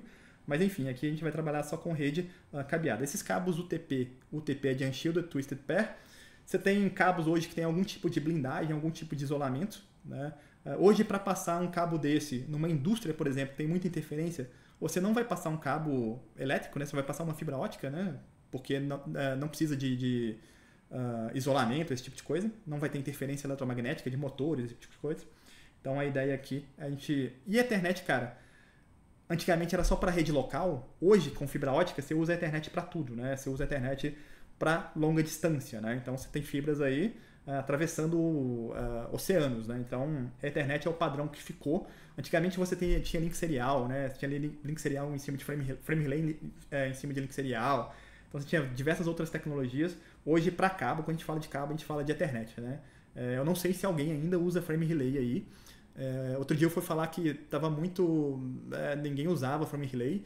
Aí veio uma galera falar: não, eu uso, eu uso, eu uso, eu uso, eu uso, que a rede é muito antiga e tal. É, quando eu comecei a trabalhar com rede, eu peguei um pouco de Frame Relay ainda, mas, cara, eu depois de um tempo, eu nunca mais peguei, né? Quem trabalha em provedor mais antigo aí talvez pegue alguma parte da rede, mas é, acho que é bem raro, né? Pegar links seriais hoje, né? Tudo em cima de internet. Aquilo ali a gente falou de camada 1, um pouco de camada 2, né? Cada placa de rede, cada network interface card já vem com o endereço MAC configurado nela, já vem de fábrica, né? Alguns chamam até de burning address, né? Vem queimado ali de fábrica ali no chip. E você não precisa configurar nada, né? Mac, é treina... Mac foi feito para ser plug and play. É tipo o Bluetooth, tá ligado? Você, cara, você não importa tanto. Você ligou ali, tá funcionando. Então a camada 2, ela pega os dados que vêm das camadas superiores e coloca na 1, né? E na Câmara 2 as coisas foram feitas para serem mais plug and play. A gente tem que tomar algum cuidado em configuração de redes de grande porte para com relação a design né, é, de Câmara 2. Né? Eu vou falar sobre isso quando a gente fala de VLAN. Mas a ideia da Câmara 2 é ser plug and play. Ligou, está funcionando. Agora, a Câmara 3, que a gente vai ver aqui agora, que é o Internet Protocol, a gente vai escolher os endereços que a gente vai colocar, tranquilo? Então a gente vai falar aqui um pouco de IP, a gente vai falar aqui do endereço IPv4 e depois IPv6 é o identificador do dispositivo. Se na camada 4, que é a camada acima, a gente tem as portas que identificam as aplicações que estão trabalhando em rede, para o IP eu identifico aquele equipamento. Um equipamento pode ter mais de um IP? Pode. Beleza? Mas o comum mesmo de host final é ter apenas um IP. É, então cada dispositivo, cada placa de rede né, vai ter ali seu endereço MAC e eu configuro em cima dela o endereço IP. No caso aqui eu vou falar de IPv4 primeiro que é o endereço que a gente vai usar aqui, inicialmente aqui. Então repare que o PC51 e 52 ele tem aqui uh, um endereço IPv4, esse endereço ele tem 32 bits. Uh, cada separadorzinho dele aqui tem um pontinho, né? então cada um desses intervalos por ponto, né? Separa que a gente tem quatro intervalos aqui, cada um desses tem 8 bits, então 8 mais 8 mais 8 mais 8 vai dar 32 bits. Um IP, se eu tenho 8 bits, se eu faço 2 elevado a 8, dá 256. Então eu tenho os IPs de 0 até 255 em cada um desses octetos. Então cada intervalo por ponto a gente chama de octeto. Pode chamar de byte também. Um byte são 8 bits. Pode chamar de byte, não está errado. Mas o comum do profissional de rede é chamar de octeto. Né? Primeiro octeto, segundo octeto, beleza. Eu peguei esse print aí do, do, do daquela série de hacker lá, do... Esqueci. E repare que o cara, o cara coloca o IP aí, ó, 373. Isso é impossível, né? Se você tem somente 8 bits, é, como é que você vai ter um IP373? Né? Então, é, quando você trabalha com redes, você vê essas séries assim, né, mais tecnológicas, você pega esses IPs zoados, é, cara, você vê, tá na cara que houve uma falha aqui da consultoria de tecnologia da, dessa série, né? Ah, não, mas colocou isso aí para não ter um IP que existe mesmo de alguma empresa. Na verdade, existe um range de IP reservado só para isso, né? Só para documentação, esse tipo de coisa, né? Então, olha só, 8 bits, 8 bits, 8 bits, 8 bits. Então a gente chama aqui de octetobyte. E esse barra 24, né? Esse barra 24 identifica a porção da rede. Eu quero identificar a rede aqui do Charmander, que é o bichinho aqui com fogo no rabo, o dragãozinho. Então, 192.850 aqui é a rede do Charmander, os primeiros 24 bits. Eles têm todo um cálculo de subrede né, no IPv4, que inclusive cai no CCNA, é, que a galera odeia, né, tem que ficar treinando lá. Não vou falar sobre IPCalc aqui, mas a ideia é que os três primeiros octetos aqui identifica a rede. Isso aqui, cara, é muito parecido com o sistema de telefonia, CEP, CPF também, né? Que é uma hierarquia. Olha só, aqui a gente tem aqui o telefone, né? O mais 55 identifica o Brasil, 31 região metropolitana aqui de Minas Gerais, 3545 alguma sub-região dentro da região metropolitana e 236 identifica ali o assinante final, né? Alguma casa ali. IP é a mesma coisa, 192.850 identifica a rede ali que ele está e o 51 a máquina dentro dessa rede. É uma hierarquia, né? Então, é, enfim. Então a gente colocando esse barra 24, né, a gente chama de máscara, né, que é para identificar qual é essa hierarquia mesmo. O IPv4, galera, a gente tem grandes problemas com o IPv4 que eu vou falar aqui agora, né? Então, olha só, esse cara aqui, ó, o Vincent Cerf, uh, em 2011, que ele, esse cara é acreditado como um dos cofundadores da internet, ele falou o seguinte, cara, estou um pouco envergonhado com isso porque foi o cara que decidiu que 32 bits era suficiente para o experimento da internet. Experimento, né? Não era nem. Não era nada os caras pensavam que ia crescer tanto, né? Minha única defesa é que essa escolha foi feita em 1977, né? É, e pensei que fosse um experimento. O problema é que o experimento uh, não terminou, então aqui estamos até hoje, né? A timeline do IP, né? A gente tem o TCP e o IP V1. Na verdade, não existe IP V1 nem nada disso. O TCP e o IP uh, não existia separação do, da camada 4 com a 3 ali, né? Em 73, TCP e IP era uma coisa só. E aí, em março de 77, TCP e IP era a mesma coisa ainda, né? Em agosto de 77, né? a função de endereçamento fim a fim que fazia parte do TCP estava sendo repensada, não fazia sentido uma mesma camada ter funções distintas. Então você tem uma camada que vai ter função de endereçamento e na mesma camada você vai ter uma camada que vai ter a função de fazer multiplexação, né, de aplicação. Por que não dividir isso em camadas diferentes, né? Que era o que o OSI já fazia, né? Mas enfim. TCP, uh, ah, inclusive o modelo OSI, o endereçamento do modelo OSI, ele é muito maior do que o IP, né? É, mas o Ozzy não vingou, então não vamos chorar as pitangas aqui, né? Uh, em 78, né, a função de endereçamento fim a fim foi removida do TCP/IP, mas ainda não existia realmente ali a, a, o protocolo mesmo, né? E aí o IPv4, né? Aí tem algumas RFCs que né, uma vai pegando a outra ali. Aí tem nos anos 78, 79, 80.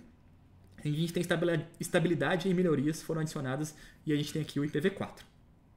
IPv5, não existe um endereçamento IPv5, Existe o protocolo versão 5 reservada para um protocolo que nunca foi para frente, que era o uh, Experimental Internet Stream Protocol. Isso nunca vingou, mas eles usaram esse número de versão 5. Não existe um endereço IPv5, é, mas não puderam dar o número do endereço atual, né, que é o IPv6, para IPv5. Né? Então, na década de 80, né, aquela loucura ainda, Guerra Fria e tudo mais. Revisão do IP, né, que eu acabei de falar, endereço fim a fim. No início, os caras falaram, cara, o endereço IP, cada dispositivo vai ter o seu, então é, todo mundo, né, no mundo vai ter o seu endereço IP, cada dispositivo, e eles vão ser globalmente únicos e exclusivos. Só que uh, no final da década de 90 isso já não era realidade, né? Porque, cara, você tinha um número muito grande de dispositivos, computadores pessoais que a galera nem fazia ideia do que ia ter. E o endereço ficou pequeno, né? Você tem ali 32 bits e é base binária 0 ou 1, 2 elevado a 32 dá o quê? 4 bilhões de IPs. E a gente sabe que isso é muito pouco, por quê? Porque atualmente é, smartphone tem IP, TV tem IP, lâmpada tem IP, relógio tem IP, tudo conecta na rede e precisa navegar na internet, por exemplo, precisa de um IP, né? Então, o IPv4 já era para ter esgotado, né? A previsão de esgotamento dos caras era no final de 2000, né? No início de 90 e alguma coisa lá.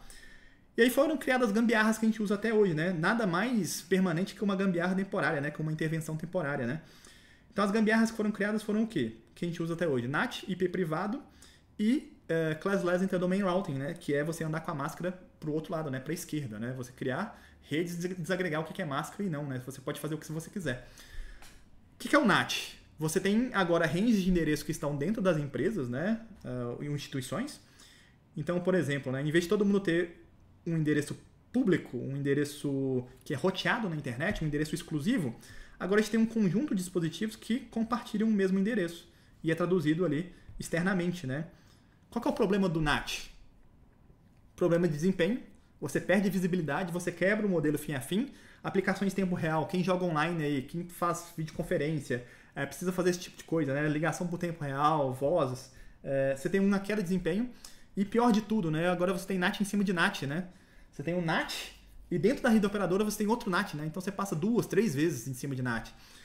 E você simplesmente é, tem aplicação que não funciona em cima de NAT direito, né? É, aí você tem outros recursos para você identificar que tem NAT, tentar quebrar, esse tipo de coisa. Sendo que em 95 os caras já criaram um protocolo para resolver esse problema, né? Que é o IPv6. IPv6 existe desde 95, galera. Vocês estão entendendo? 95. Tem alguém aqui que não era nascido em 95? Isso já são o quê? 28 anos?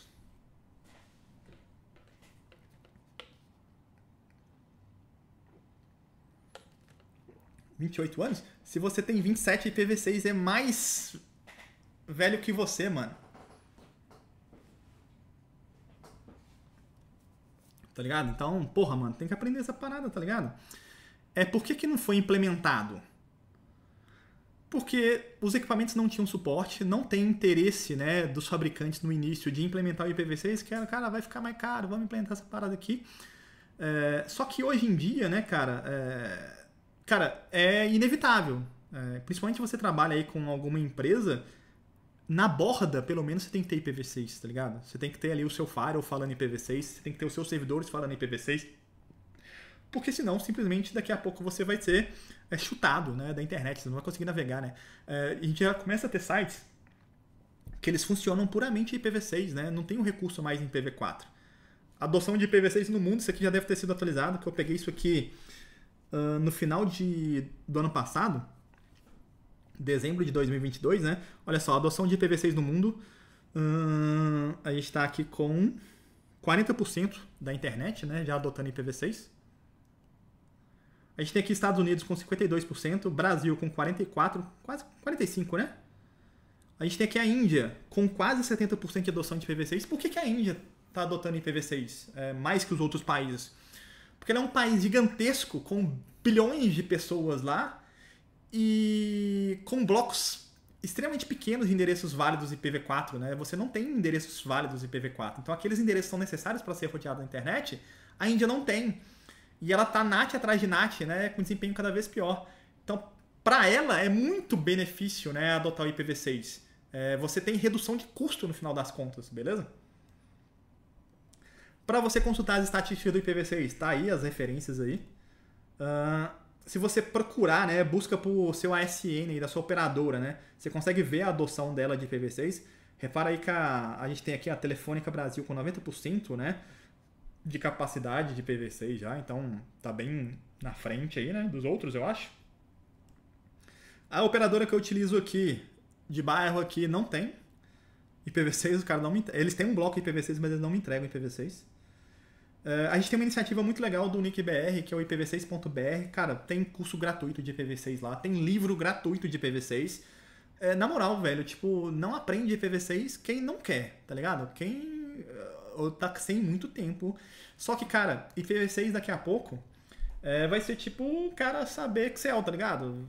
Você tem que saber, mano, o Word, tá ligado? Você sabe? Você põe no currículo que você sabe o Word? Não, todo mundo acha que você sabe, tá ligado? Então, IPv6 vai ser a mesma coisa. É, e por que, que esse pessoal todo tá subindo IPv6, né? A gente tem aqui os órgãos né, de distribuição aqui dos endereços IPv6. Aqui na América Latina a gente tem o NICBR, né? É, os regionais aqui e tal. Olha só, 2001 a Microsoft adiciona suporte ao IPv6 em seus sistemas operacionais. 2003, a operadora americana, se não me engano, a Sprint, né? E a Apple começa a dar suporte ao IPv6. Uh, 2002, né, o LACNIC se torna o quarto uh, RIR a obter um barra 23 IPv6. 2004, o AfricaNIC. 2007, né, a Hurricane Electric converte sua rede para IPv6 nativa. Uh, quem entra no site da Hurricane Electric também tem, um, tem uma certificação IPv6 deles lá. Inclusive você ganha uma camisa, né? Se você completar tudo lá, é bem legal. E eles mandam para você a camisa. É só procurar aí na internet Hurricane Electric PVC Certification. É de graça. Se eu tô falando merda, me corrijam aí. É, governo americano tem compatibilidade em IPv6 entre seus sistemas. 2009, uh, Google Search e Maps estão disponíveis em IPv6. E aqui, ó, 2024, né? Não sei se vocês souberam disso aqui, né? A Amazon, a AWS, a nuvem da, da Amazon, começa a cobrar por hora por IPv4 público utilizado, né? 0.005 centavos de dólar. Então o IPv4 começou a ser vendido como serviço, né? É tão pouco recurso disponível que os caras vão comprar essa porra, velho. Os caras estão achando que isso aqui é festa, mano. Vão implementar IPv6? Não, IPv6 é de graça, IPv4 paga. Agora eu quero ver, né, mano? Então, vai ter que implementar. Você quer pagar ou quer ter a parada de graça? De graça é muito melhor, né? Como é que é aquele o Julius lá, né? Fala, cara, é, eu economizei muito, né? Se eu não comprar, né? Se eu não compro, eu economizo mais, né? Então, IPv6 é muito mais do que quantidade de endereços, né? Tem diversos benefícios diretos e indiretos. Uh, com o esgotamento do IPv4, né, será inevitável que novos serviços irão funcionar puramente em IPv6 e se você não usa IPv6 não poderá utilizar tais serviços. Existe um site que disponibiliza a lista de sites que só estão em IPv6. Uh, com o esgotamento do IPv4, diversos provedores fazem uso de NAT sobre NAT, ou seja, NAT, o que atrapalha de forma, isso que eu já falei, né? Uh, todos os sistemas operacionais atuais já vêm com IPv6 habilitado por padrão e faz parte do seu trabalho entender IPv6. A rede não está funcionando, desabilita o IPv6 que volta a funcionar. É porque a infraestrutura do cara não está em IPv6, não é o problema do, do IPv6 habilitado, é porque o backbone do cara não está em IPv6, tá ligado? Então, ah, desabilitei o IPv6 funcionou. Mano, porra nenhuma, é porque você é burro, tá ligado? Porque a rede do cara não tem IPv6, não está preparado para IPv6. Migrações em larga escala são complexas, né? Uh, teste antes de implementar, como tudo em tecnologia, né? Faça numa rede pequena de teste e vai testando se você não implementa. Vários fabricantes têm um nível de maturidade grande com IPv6, exceto né, aqueles bem xing-ling, que a gente sabe quais são. Então tome cuidado, né? veja o nível de maturidade naquele fabricante, dá uma lida, dá uma testada. Novas técnicas de transição estão sempre em desenvolvimento, pesquise. Redes IPv6 only? Por enquanto, eu acho que não, né? Trabalhar com pilha dupla sempre com os dois protocolos. Uh, o comércio de blocos de IPv4 é uma realidade, então os caras estão vendendo o bloco de IPv4 válido aí, né? Tem até leilão disso, né? Se você entrar aí e procurar nesse site aí, você consegue ali é, comprar o seu bloco, né? E o que, que é o IPv6, né? O IPv6 é um endereçamento totalmente novo ali de câmera 3, né? Um protocolo totalmente novo de câmera 3. E esse cara aí é o IPv6, olha, 2001, 2.0, DB8, 2.000, 2 pontos café, 2.0, barra 64. Beleza? Só isso. O barra ali é a mesma coisa, né? Não tem mais cálculo de subrede, você não precisa fazer, ficar fazendo mais cálculo de subrede no endereço IPv6, porque, cara, tem tanto endereço, porque você vai ficar quebrando em bits, tá ligado? Ah, cara, faz um blocão lá e põe a galera lá e tá tudo certo. Você vai precisar quebrar em redes, mas você não vai ficar em bit por bit, tá ligado? Então, barra 64, 64 primeiros bits aqui, ó, representam a rede, e os últimos 64 representam aqui os hosts, né?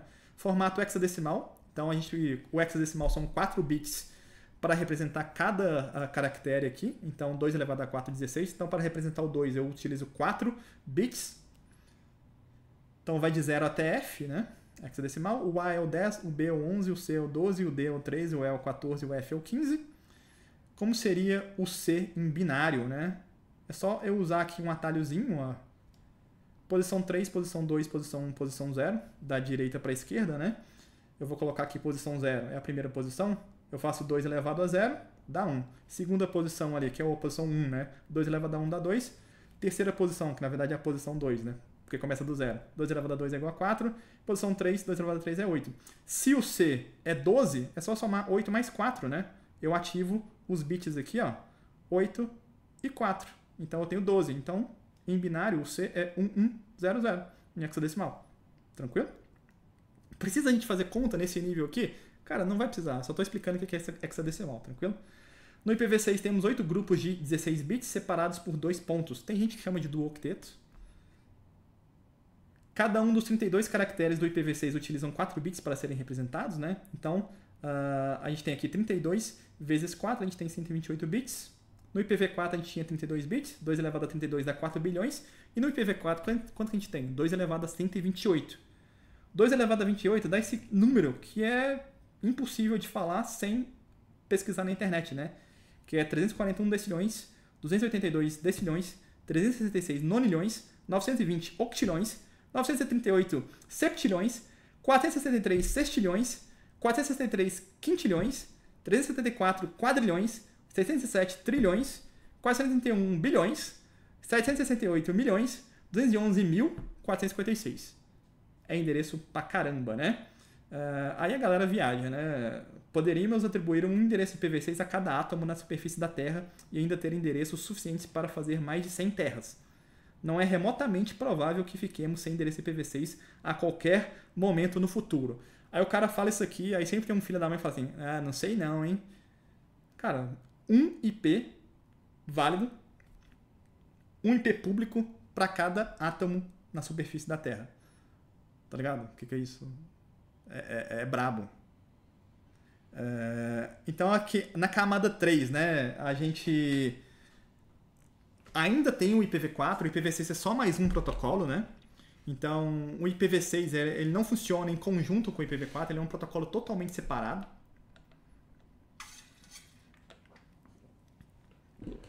Eles ainda vão conviver né, em conjunto ali, até todo mundo adotar IPv6 e o IPv4 e sendo descontinuado. Tranquilo? Que chama de pilha dupla, né? A sua máquina vai ter diversos IPs. Um IPv4, um IPv6, por exemplo, ou mais de um IPv4 ou mais de um IPv6. O cabeçalho do IPv4 ele tem 20 bytes. O cabeçalho do IPv6 ele tem 40 bytes, é o dobro, né? Porque o tamanho do endereço IP ele é muito maior. É, só que ele é um cabeçalho bem mais simples. A gente pode resumir o endereço IP, pode eliminar os zeros à esquerda aqui, ó, para visualmente ficar mais bonitinho para o ser humano, eu posso eliminar os zeros à esquerda ou um conjunto de zeros e separar por dois pontos. Eu posso dar uma diminuídazinha no endereço. Então, quando você vê dois pontos, dois pontos, quer dizer que é uma continuidade de zeros. Tranquilo? É só um... para ficar mais fácil para o ser humano ler. Quero ver os caras decorar IP, né? A gente tem vários sabores de IPv6. A gente tem o multicast, a gente tem Ncast, a gente tem o unicast. Não tem broadcast mais no IPv6. Não tem endereço de broadcast. A gente tem o multicast, que faz um papel parecido com o broadcast aqui nesse caso. Beleza? Endereço global, que seriam endereços válidos. Começam com dois ou com três, são os dois blocos uh, distribuídos aí pela, pelo órgão responsável, né? IANA Location. Então a gente tem ali o 2 até 3 FF. Então o endereço começou com 2 ou com 3 é um endereço que a gente chama de endereço válido, né? O endereço público, na verdade, né? Válido, enfim, é um endereço público, é um endereço roteado na internet deve ser único, similar ao endereço IPv4. Uh, aí tem um reservado para documentação, né, que é o DB8. A gente tem um endereço link local. Todo dispositivo com IPv6 habilitado tem um endereço link local, é obrigatório. Sem ele, o IPv6 não funciona. Ele só tem escopo local, ele é nunca roteado para lugar nenhum. Toda interface tem, já falei sobre isso. Comunicação uh, básica do IPv6 é feita com link local. Então, olha só, tem aqui duas redes separadas por um roteador, né, um dispositivo de camada 3. Essas redes laranjinhas, elas se pingam através do endereço link local. Só que se eu tiver um endereço uh, outras máquinas e link local lá do outro lado, esses caras não se pingam, beleza? O shall not pass, você não vai conseguir pingar o outro lado porque está com link local. Então, no IPv6 você vai usar múltiplos endereços. Se você quer pingar o outro lado, você pode usar, por exemplo, global, né, em conjunto com link local.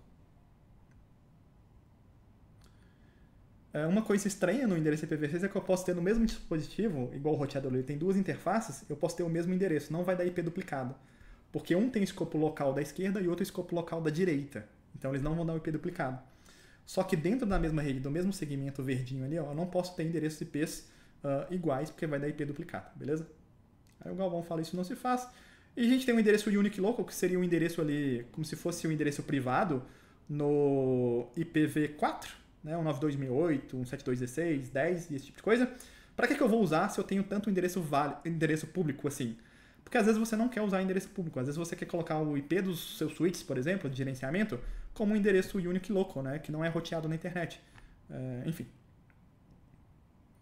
E é loopback, que é o 127.001, no IPv6 é o 2.2.1. Subrede com IPv6, né? Uh, basicamente é a mesma ideia de cálculo que você tem no IPv4, só que a gente tem aqui os blocos né, mais padrõezinhos, por exemplo, barra 48, né, que é o Global Routing Prefix. A gente tem aqui o barra 64, que é o Subnet ID, 16 bits. Então a gente tem 65.536 redes e cada rede dessa vai poder ter ali ó, eh, mais 64 bits de host e dá esse porrilhão de host por rede. Ou seja, cara, você tem endereço IP pra caramba, né? Plano de gerenciamento, né? Existem RFCs disponíveis só para você fazer plano de gerenciamento IPv6 para criar barra 30 do IPv4, é barra 127 no IPv6, enfim. É, as operadoras elas não vão te dar um IP só mais, né? Elas vão te dar um bloco, ou deveriam te dar um bloco né, de endereço para você fazer sua subrede, enfim. Beleza. A gente vai falar mais sobre o IPv6 quando a gente for implementar IPv6 aqui no nosso cenário, beleza? Uh, alocação dinâmica de endereços no IPv6, né? No IPv4 a gente precisa de um servidor DHCP, se a gente não quiser configurar na mão. No IPv6 isso já é nativo, né? Ele usa um protocolo uh, NDP, né? O Discovery Protocol, para fazer isso, né? Então a gente vai ver na nossa rede que vai ser mais fácil configurar o IPv6 na nossa rede do que o IPv4, que ele já vai fazer tudo sozinho. Né? Ele vai mandar ali ah, o ICMP, que é o protocolo de testes, entre aspas, né, de mensagem do IPv4, Uh, no IPv6, a gente tem o ICMPv6, que é um protocolo totalmente novo. Ele é parte fundamental de como o protocolo funciona. Não, você não pode bloquear ICMPv6 na sua rede, senão a rede vai parar de funcionar. Né? Então a gente tem aqui a alocação dinâmica, sem precisar de DHCP aqui na rede. Existe DHCP também, mas não é, é, não é necessário igual no IPv4. Né? Você pode fazer para maior controle e tal. a gente vai falar dos endereços multicast daqui a pouco também, desses caras. E no endereço uh, IPv6 a gente chama isso de stateless, auto, uh, stateless address auto configuration, né? que seria ali a configuração automática ali dos endereços para a gente. A gente pode fazer com DHCP ou sem. E aí, para DHCP no IPv6, você vai ter, que ter, vai ter que ter o seu DHCP V6 se você quiser usar DHCP uh, ah, no V6. E aí a gente vai configurar agora o nosso packet, os endereços. Só que a gente não vai configurar endereço IPv6 porque a gente não vai precisar. Porque vai fazer isso sozinho. Beleza? Então a gente vai uh, configurar de acordo com a topologia. A gente vai configurar aqui ó, os dispositivos aqui. Olha só, rede 50, 192.168.50.51. O IP final aqui ó, é o nome do host. 41, 41. Então vai ficar mais fácil para a gente aqui. Ó. Eu vou configurar aqui ó, o PC51. Vem aqui em config, fecha Ethernet 0. Repare que IPv6 ele já tem um endereço aqui. Ó. Que tipo de endereço é esse? É um link local. Como que eu sei? Porque está escrito aqui também. E porque ele começa com FE80, né? Ó, link local. Ou link local, né? Enfim. Já está aqui, ó, bonitinho. Beleza? O IPv4 eu vou ter que configurar aqui, ó. 192.168 50.51. Aí eu vou dar um tab e ele já vai colocar a máscara aqui, ó. Isso aqui é um barra 24. 8 mais 8 mais 8, né? Esse 255 aqui significa que são 8 bits ativados. Beleza? Já vou fechar. O 52. Fecha a internet. Já está com o IPv6 aqui, ó. 192.168.5052. Vou dar um tab aqui. O 41 config, fast 0, que é a plaquinha de rede dele que liga aqui, ó. Vou colocar aqui 192.168.4041. A máscara aqui bonitinha, IPv6 não precisa, já tem um IPv6 aqui. Vou fechar aqui. Config. Vou colocar aqui, ó, Fast Ethernet. 192.168.4042. Máscara já tá bonitinho aqui. 32. Fecha aqui. 192.168. 32. Opa! 30, 32. Coloquei aqui, bonitinho. 31. Config, fast. 192.168, 30, 31. 21, config, fast, 192.168.20.21, 22, config, 192.168.2022, 53 é da rede 50 aqui de cima, né? Vou colocar aqui fast 192.16850.53 11. Config 192.168 uh, 10.11. Beleza, configuramos aqui os PCs. Eu vou nesse sniffer aqui de cima, ó. cliquei nele. Aí eu venho aqui em config, cadê? Aqui, interface gráfica, na verdade, aqui ó, GUI, Graphic User Interface, e eu vou dar aqui ó, um clear, e eu vou aqui editar filtros. No editar filtros, não tem como eu desmarcar tudo, não? Ó, na verdade eu vou dar aqui um show all none. Eu desmarquei todos. Editar filtros. E aí aqui eu vou colocar aqui, ó, no IPv4 ICMP. Beleza? Só vou marcar aqui ICMP. Então o que, que eu fiz? Eu desmarquei tudo aqui, ó. Desmarquei a lista inteira. Cliquei aqui, ó. Repare que a lista está toda populada. Ele está vendo todos os protocolos. Eu vou aqui, ó. Nenhum. Então ele tira da lista. Aí eu vou aqui em Edit Filters e vou colocar aqui, ó. Eu quero que você monitore, fique olhando só IPv4. Então, tô olhando, na verdade, olhando só o ICMP, que é um ping. Uh, vou colocar ARP aqui também. Beleza. E vou dar um clear aqui, ó, para ele tirar tudo daqui. Então não, não tá pegando nada, né? Vamos aqui no... Esse sniff é zero também. Interface gráfica. Clear. Show all none. Edit filters. ARP e CMP. Beleza? E aí eu venho aqui, ó, do meu PC 31, eu venho aqui no desktop, venho aqui em Command Prompt e venho ping 192.168.30.32. Então, desse cara aqui, 31, eu estou testando se eu tenho conectividade aqui com 32. Já que eles estão na mesma rede, tem que funcionar. Ó, tô tendo o quê? Um reply. Quer dizer que tá ok. Beleza? Vamos ver se ele pinga o 52. 50, 52. Não vai pingar, porque esse cara vai falar, cara, a gente está em redes diferentes, eu não consigo comunicar com você, né? Ó, não está aparecendo nada. Então esse cara não está pingando. Vamos ver se apareceu alguma coisa aqui em cima, nesse sniffer 1 aqui, ó. Ó, não apareceu nada. Por que, que não apareceu nada? Porque esse pacotinho aqui, ó, que foi gerado aqui, ó, nem saiu dessa máquina. Porque essa máquina, se a gente pegar aqui, né, ó, ele só sabe a rede 192.830. Para ele sair para outra rede, a gente precisa de um outro dispositivo chamado roteador. A gente precisa configurar aqui ó, o que a gente chama de default gateways. A gente precisa colocar aqui ó, um default gateway. A gente vai ver isso daqui a pouco. Beleza? Só que, e se eu mandar um broadcast? Se eu mandar uma mensagem para todo mundo? Ó, 192.830.255. O último IP ali, ó. É como se fosse eu quero mandar para todo mundo. Ó, tô mandando aqui para 255. Vamos ver se esse sniffer aqui chegou alguma coisa? Ó, chegou aqui, ó.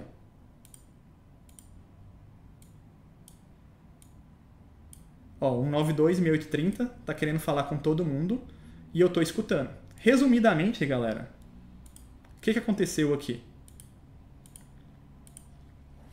E não era para acontecer. Na verdade, eu não quero que aconteça, né? Eu estou aqui. Cadê?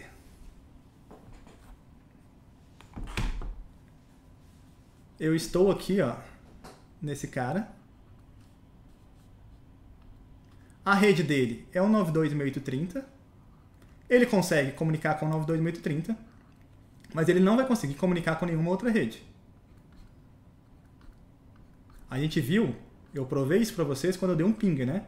Quando eu dei um ping no 192.168.5051 dessa máquina aqui, ó, esse pacotinho nem saiu daqui, ó. Por quê? Cara, ele falou assim, cara, o meu IP é 192.168.30.31. Você falou que a minha máscara é 1 barra 24. Então todo mundo que faz parte da minha rede, que eu sei que eu consigo comunicar, já que faz parte da minha rede, começa com 92.830. Aí o sistema operacional falou, cara, você está querendo pingar os 50. Isso aqui, ó, é diferente. 30 é diferente de 50. Então, para você conseguir pingar os 50, você deveria ter configurado na minha, na minha placa de rede aqui, ó, um default gateway. Uma porta de saída para redes diferentes. Beleza? Para isso que serve o gateway, mas você não configurou. Então eu não consigo mandar esse pacote para ninguém. Se é diferente da minha rede, eu tenho que mandar para alguém que você fale que conhece essas redes. Nesse caso vai ser o nosso roteador, vai ser o nosso switch aqui camada 3. Por enquanto não, beleza? Então tá. Mas depois eu dei um ping gritando, que é um broadcast. Isso aqui, quando a gente pingou aqui ó, o 3032, é o que a gente chama de comunicação unicast. Eu quero pingar com aquele cara. E se eu quiser pingar todo mundo da rede 30? Eu mando aqui para o último IP, 255.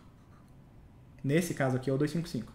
Isso aqui é o IP que identifica todos os hosts da rede. Então eu quero falar com todo mundo. Quando eu mandei um broadcast, eu falo, ah, beleza, você está mandando para 30. Quer falar com todo mundo da 30?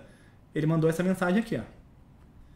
Chegou aqui no switch 3, o switch 3 fez o seguinte: cara, você quer falar com todo mundo? Eu vou mandar para todo mundo, para todas as portas que eu tenho. Ele mandou para essa porta. Ele mandou para essa porta aqui. Essa mensagem chegou aqui no switch embaixo. O que, que o switch fez? Ah, é um broadcast? Vou mandar para todo mundo. vou mandar para cá. Vou mandar para cá. E vou mandar para cá. E vou mandar para cá. É um broadcast. Chegou aqui essa mensagem. Chegou aqui. Chegou aqui. E chegou aqui no sniffer. Por isso que eu estou vendo no sniffer, né? E o sniffer passou aqui para frente. Beleza? Por isso que o contador aqui aumentou, né? A gente foi vendo esse contador aqui aumentando. Mas a gente vai ver por que está acontecendo isso, né? Por que, que esse broadcast está se espalhando para a rede inteira.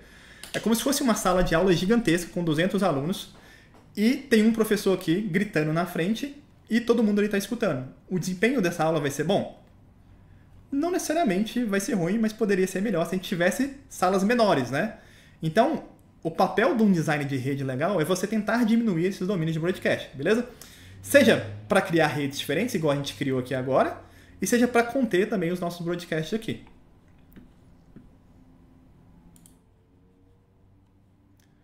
Vou colocar a lista aqui agora, galera, da aula 1. Lista de presença. Não é a lista de sorteio.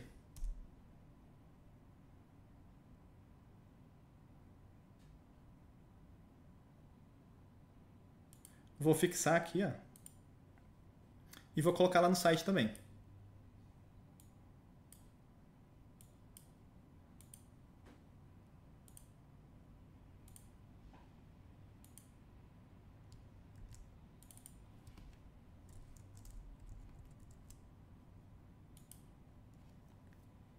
Tá lá no site e tá aqui no fixado, beleza?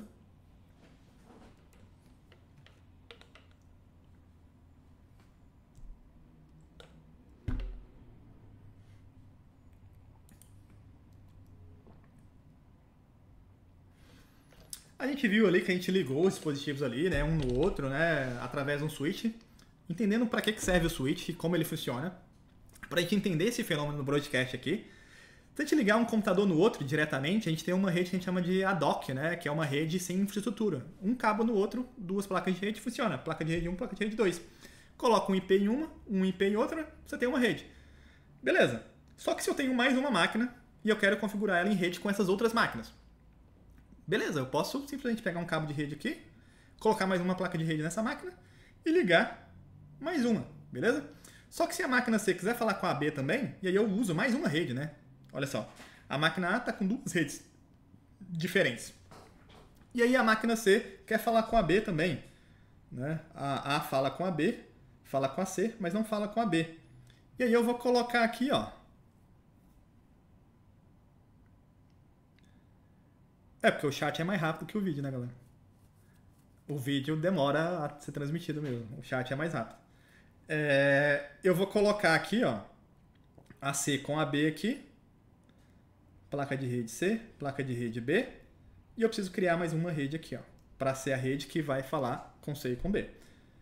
Só que isso é inviável, né? Imagina se eu tenho quatro máquinas, eu tenho que colocar mais uma placa de rede, mais duas em cada, né? Enfim, essa foto aí é de 1911 de rede de telefonia, né? Com redes ponto a ponto é, de forma indiscriminada, né? Então você tem muito cabo passado e esses postes com uma porrada de cabo aí, né? né? Nessas redes ponta a ponta de telefonia aqui.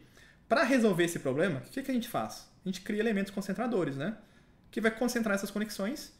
No início a gente tinha ali o hub, depois a gente teve um hub melhorado com a bridge ali que dividia, né? E depois a gente teve os switches, né? O problema do hub é que ele simplesmente é um sinal elétrico. Na central, na telefonia a gente teve as centrais telefônicas, né? Que pegava todos os clientes, ligava nessa central e a central distribuía entre as outras centrais, né? Aí você acabou com esse monte de fio aí. Uh, então, você tem uma mensagem aqui e dois geram uma mensagem ao mesmo tempo no hub, a gente tem colisão. O hub é um elemento de camada 1, né? Uh, a gente pode funcionar aqui a, no máximo 10 megabits e half duplex, não consigo falar full duplex, né? enviar e receber ao mesmo tempo, né? Então a gente tem vários problemas com o hub. A solução para isso, né, é o switch, né? Para o switch funcionar, a gente precisa de um endereço chamado endereço MAC, né? Esse endereço é um endereço que já vem gravado nos dispositivos então não precisa a gente fazer nada, ele foi feito para ser plug and play, já está marcado ali no hardware do equipamento, né? A gente consegue até trocar via sistema operacional, não recomendo que faça isso. É, ele foi feito simplesmente para plugar e funcionar. Né? A gente tem aqui o nosso endereço MAC, ele tem ali uh, 48 bits, os primeiros 24 representam o fabricante, né? então a gente chama de OUI.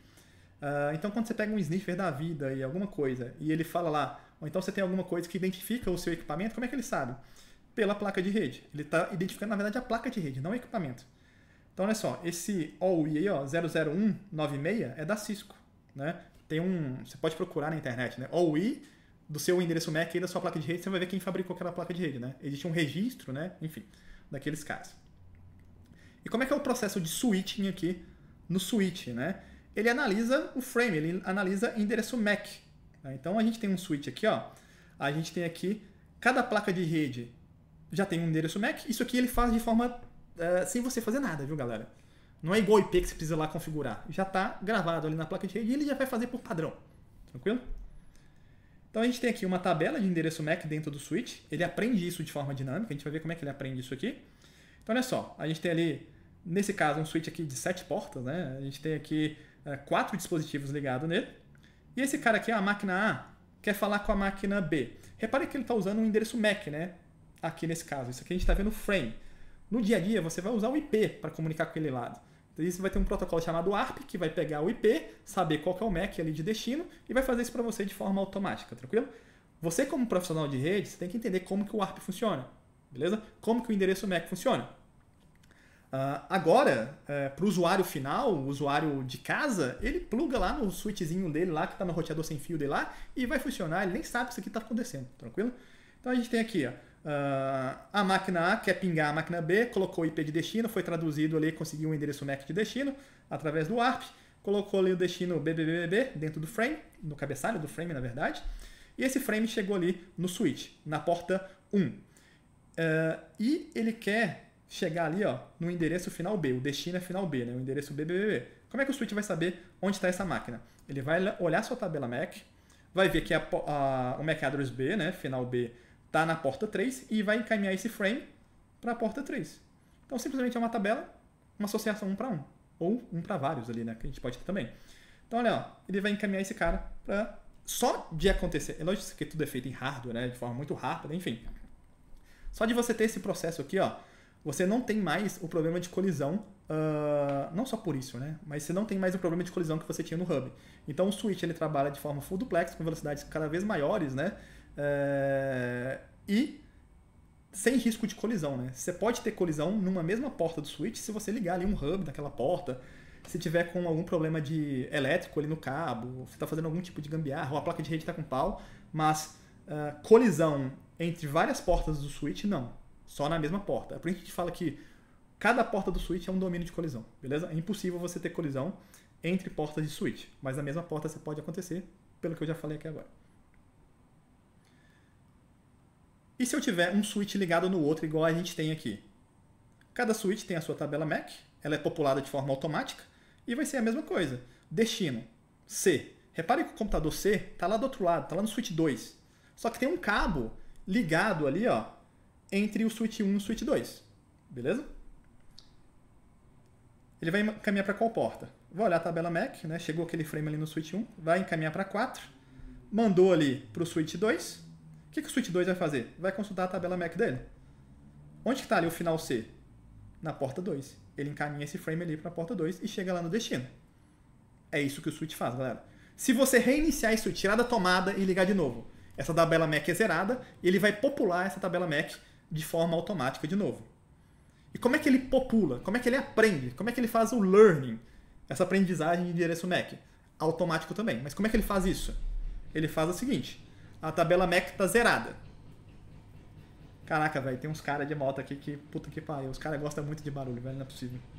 Olha isso. Não sei se dá pra escutar, mas enfim. A gente tem um switchzinho aqui, a tabela MAC tá zerada, vamos supor que esse switch ligou agora. O que, que vai acontecer? Tem várias máquinas aqui. Na primeira comunicação aqui, ó, a gente tem o um frame. No frame, que é o cabeçalho ali de câmara 2, a gente tem quem está originando esse frame e quem esse cara quer uh, alcançar. Então tem o MAC de destino e o MAC de origem. Qual é o MAC de origem? É o MAC daquela própria máquina. Beleza? Então a máquina A está gerando um frame. O que, que vai ter nesse frame? O MAC de origem dela, que é o final A, e o MAC de destino, quem que ela quer comunicar, final D. Quando esse frame entra pela porta 1, o que, que o switch faz? Opa, aproveitando que você está passando por aqui, deixa eu anotar seu MAC aqui. O seu MAC é o final A e você está vindo da porta 1. Então ele sabe que na porta 1 está originando ali o frame com final A. Quer dizer que o final A está ligado naquela porta? Não, pode ter um outro switch do outro lado, uma cascata que a gente fala, né? Mas é assim que ele faz, beleza? Beleza. Quando a máquina D, né, isso vai chegar lá na máquina D, como não tem um MAC de destino nessa, nesse switch, né, a tabela MAC ainda está sendo populada, o que, que vai acontecer? Ele vai mandar esse frame para todas as portas ativas, exceto a que ele recebeu. Vai mandar para todo mundo. Isso a gente chama de Unknown Unicast Fluid, beleza? Vai acabar que a máquina D vai receber esse frame. A máquina D então vai responder para o A. Se for uma pergunta, né, alguma coisa, um SMP request, enfim.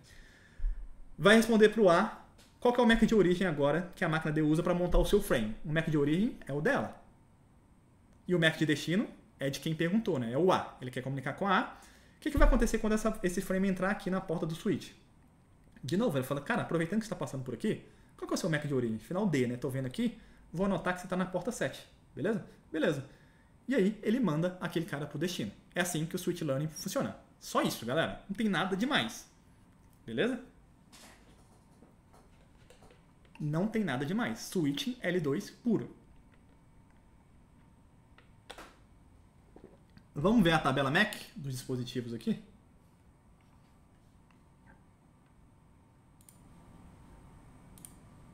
Se eu pegar aqui o switch 3 aqui, por exemplo, CLI, show, Mac, other stable. Só tem aqui o que está vindo aqui do, do Core 1. Vamos dar um ping aqui de novo?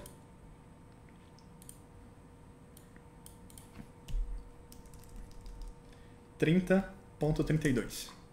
Vamos dar um show Mac Other Stable aqui. Ó, porta F0 barra 1 F0/1 é que liga aqui o 32. E F0/2 é que liga o 31. Então esse endereço MAC aqui, ó, é o da minha placa de rede aqui. Vamos conferir? Interface, fecha Ethernet. Aqui, ó. Final 08DE. Final 08, não, 0D8E, né? Final 0D8E. F997, F997, 0E0. Tá aparecendo o IP aqui na tabela MAC? Não, porque é uma tabela MAC. Não é uma tabela IP.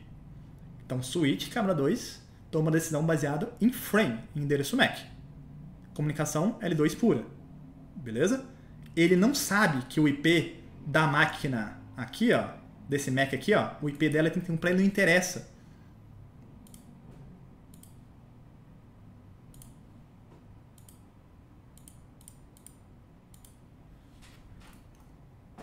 Aí entra o encapsulamento, né? Quando essa máquina aqui, ó, dá um ping, 192.168.30.32, o que, que ela faz? Ela monta um pacote. O pacote aqui é L3. IP de origem é ela mesmo, 3031. 192, 168, né? Colocando só o final aqui para ficar mais fácil para eu desenhar. IP de destino é o que você passou pelo ping, né? Que é o 3032. E aí ele pega isso aqui, coloca dentro de uma caixa, que a gente chama de frame, né? Isso aqui tá lá dentro, ó. Caraca, eu sou o mestre dos desenhos. Que isso, fi? Caraca, virou uma caixa. Ó. Tá lá dentro. E aqui fora dessa caixa ela coloca o quê?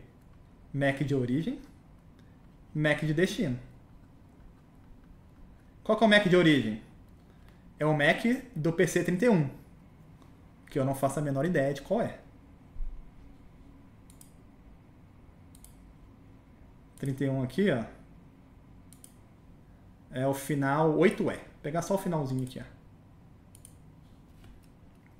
Mac de origem ela sabe porque é ela mesma. 8E. Tô fazendo dessa máquina aqui, querendo pingar essa aqui, ó. Só que qual que é o MAC de destino? Se no ping eu só passo o IP. Como é que ela vai descobrir o MAC de destino? Ela não sabe. Aí ela vai mandar um negócio chamado ARP. Address Resolution Protocol. Ela vai mandar aqui um broadcast nessa rede perguntando, cara, alguém aí, pelo amor de Deus, sabe qual é, é o endereço IP 192.832 e qual é o seu MAC? Então ela manda perguntando para todo mundo. Como que eu pergunto para todo mundo? Manda um broadcast. Qual que é o broadcast? O endereço de broadcast camada 2. F, F, F, F, F, F, F, F, F, F, F, F. Quando ela coloca isso aqui de destino, ela quer mandar para todo mundo. Então ela manda aqui primeiro um ARP request. Esse cara vai responder porque vai chegar nela uma hora, né? Já que elas estão na mesma rede aqui. Opa, o meu Mac é qual que é o Mac dele? Mac o meu Mac é o final 74. Ele não manda o final, ele manda o Mac inteiro, né? Eu que tô com preguiça aqui. E aí a próxima comunicação agora não precisa mandar mais ARP, ele manda direto pro cara, final 74. Chegou aqui agora, ele consegue mandar para esse cara. Chegou no switch, switch popula tabela MAC, porta X, MAC e tal. Chegou o frame aqui no 32. O que, que o 32 faz? Ele vem aqui, tira da caixa o pacotinho, desmonta o frame, porque para ele interessa aqui, ó, a camada 3 agora. Ping camada 3. ICMP camada 3. Ele olha aqui, ah, você tá me pingando, filho da mãe? Eu vou te responder, porque eu tô vivo. Aí ele coloca IP de origem dele, IP de destino 31, monta a caixa de novo. Qual que é o frame? MAC de origem agora vai ser o dele, MAC de destino ele vai responder para quem perguntou e Caraca, isso é muito bonito, né, velho? Isso aqui é magia pura, né? E as máquinas funcionam, beleza? É isso, galera. Comunicação L2 básica. Isso que tem que saber. Isso aqui, se você trabalha com rede, na verdade, se você trabalha com alguma coisa de infraestrutura que tem comunicação em rede, cara, isso aqui é muito interessante você saber. Agora, se você trabalha com rede, isso é obrigatório você saber. Beleza? Isso aqui, cara, isso aqui tem que estar tá no sangue, sei lá, velho. Tá ligado? É... Beleza. Voltando aqui.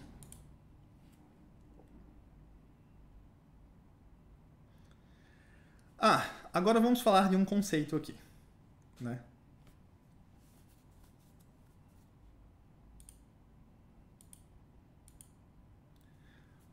Por quê?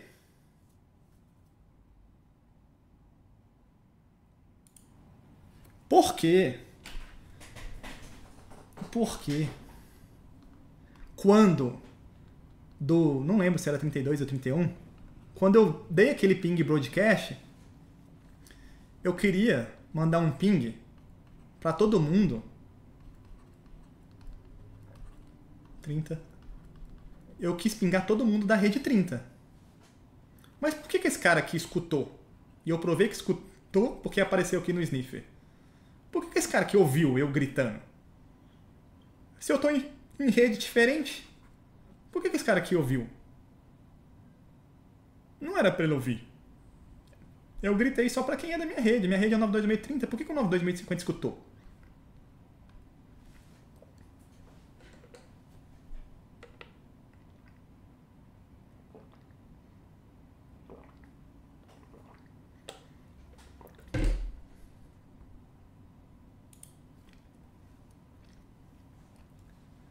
Galera, quando eu fiz um broadcast aqui, ó, o que, que esse cara fez? Ele mandou o um broadcast aqui pro switch.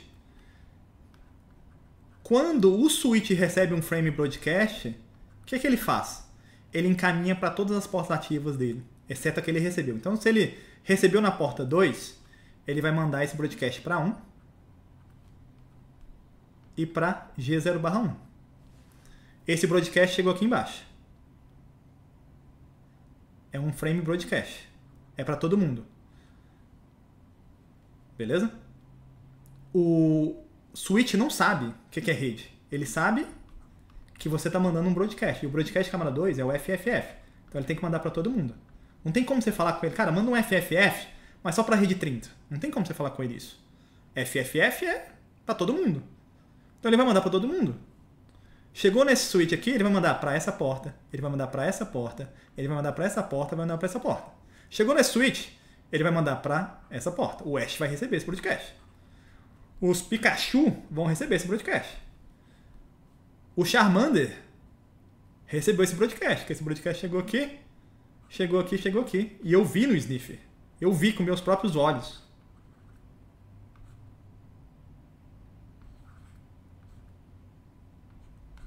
Beleza? Mas por que que chegou aqui? Porque esses switches estão conectados um no outro. Se eu quisesse isolar essa rede, eu isolei ela na camada 3. Mas na camada 2, ela está toda interligada.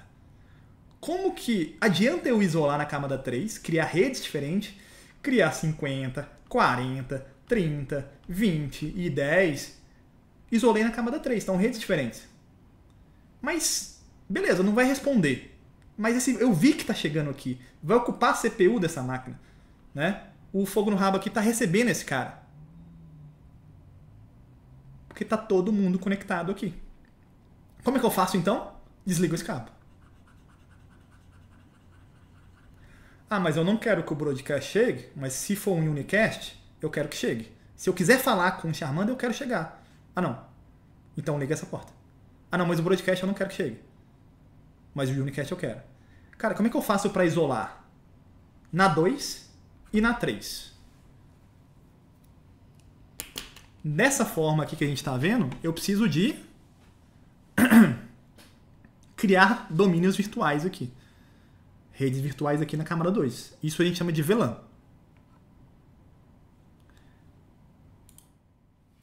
Beleza? Então, uma LAN inclui todos os dispositivos do mesmo domínio de broadcast. Então, a gente criou uma LANzona, né? Uma LAN toda espalhada. Só que o problema de você criar uma LANzona é que o domínio de broadcast fica muito grande. Como que eu vou segregar na câmera 2? Então, olha só, a gente tem aqui, a gente criou nosso redezinha Pikachu. E agora a gente tem a redezinha aqui do Bulbasaur. Não, a quinta série vai, vai gritar. Não, tem uma hora aqui que a quinta série grita mesmo. É, acho que é agora, né? Ó, oh, o Pikachu falou pica pica. Essa quinta série bruta, né, velho? É no seu mais puro. Né? Pica pica, pica pica. Como essas suítes não estão ligadas um no outro, o Bulbasauro não vai escutar, né? O Bulbasauro tá gritando aqui Buba Buba e Buba Buba. Beleza? Se eu ligar um cabo entre esses caras, agora o Bulbasauro vai escutar o Pica Pica e o Pica Pica vai escutar o Bulbasauro. Broadcast. Beleza? Os caras estão gritando. Eu já mostrei o Sniff no Packet 3, sei lá, aquela hora. Como é que eu faço então para separar esses caras? Eu posso criar domínios de broadcast separados, que a gente chama de VLAN. Então eu vou criar um domínio lógico aqui.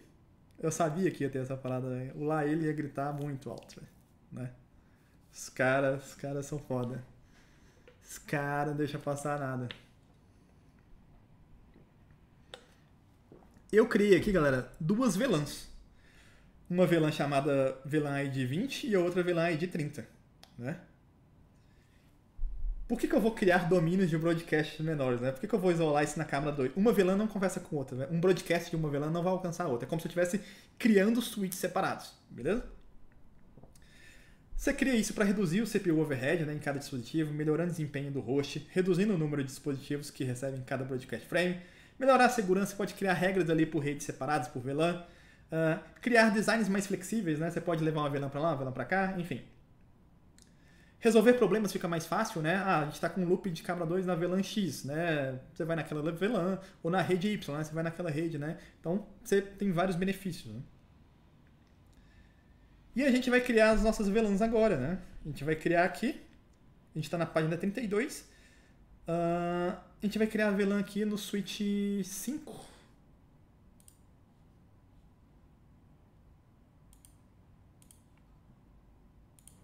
Então a gente vem aqui no Switch 5, criar VLAN é um troço muito complexo.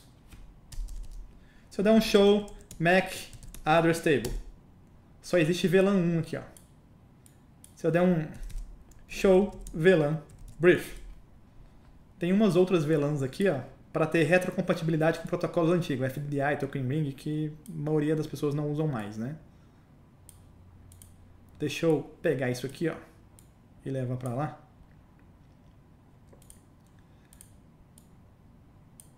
Uh, não, uma coisa que a gente não fez, né? Foi pingar o IPv6, né?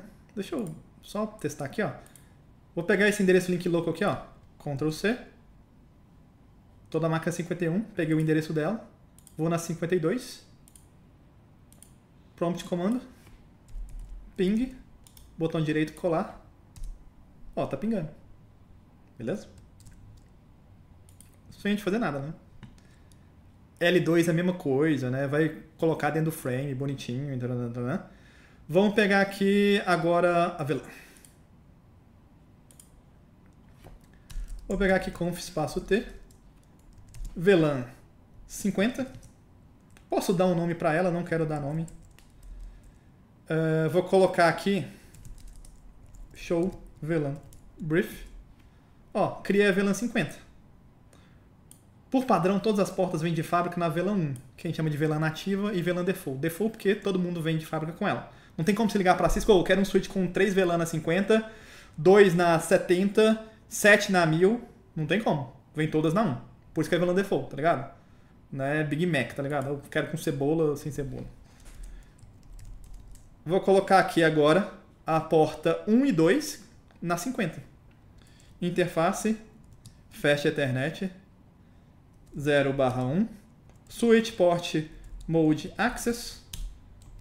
Depois eu vou explicar o que é isso. Switch port access VLAN 50. A partir desse momento, vou dar um end aqui. Show VLAN brief. A porta 1 está na VLAN 50. É como se ela tivesse num outro switch. Todo mundo aqui está na VLAN 1, menos essa porta. Eles estão no mesmo switch, mas é como se estivessem em outro, separados. Beleza? Conf espaço t. Vou pegar aqui, ó, 0 barra 2, switch port mode access, switch port access VLAN 50. End, show VLAN brief, ó, a 1 e 2 estão na VLAN 50. O resto da minha rede inteira tá todo mundo por padrão na 1. Todo mundo aqui tá na 1. Vamos fazer aquele teste do sniffer de novo? Vamos pegar aqui, ó, o sniffer 1. Aquele, aquela comunicação aquela hora que a gente pegou. Ó. Vou dar um clear nela. Vou deixar esse sniffer aqui no top, em cima aqui da tela. Vou pegar o 31 aqui de novo e vou gritar. Vou deixar ele aqui no top também. Vou pegar o sniffer 0. Vou dar um clear nele e vou gritar. Vou gritar para todo mundo da rede 30. Esse sniffer zero tá aqui, ó. Ah, ele vai pegar, né? Então eu vou pegar do 32 e gritar do 32. Vou deixar esse sniffer zero aqui.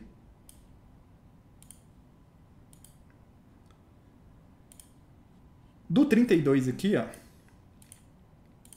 eu vou pingar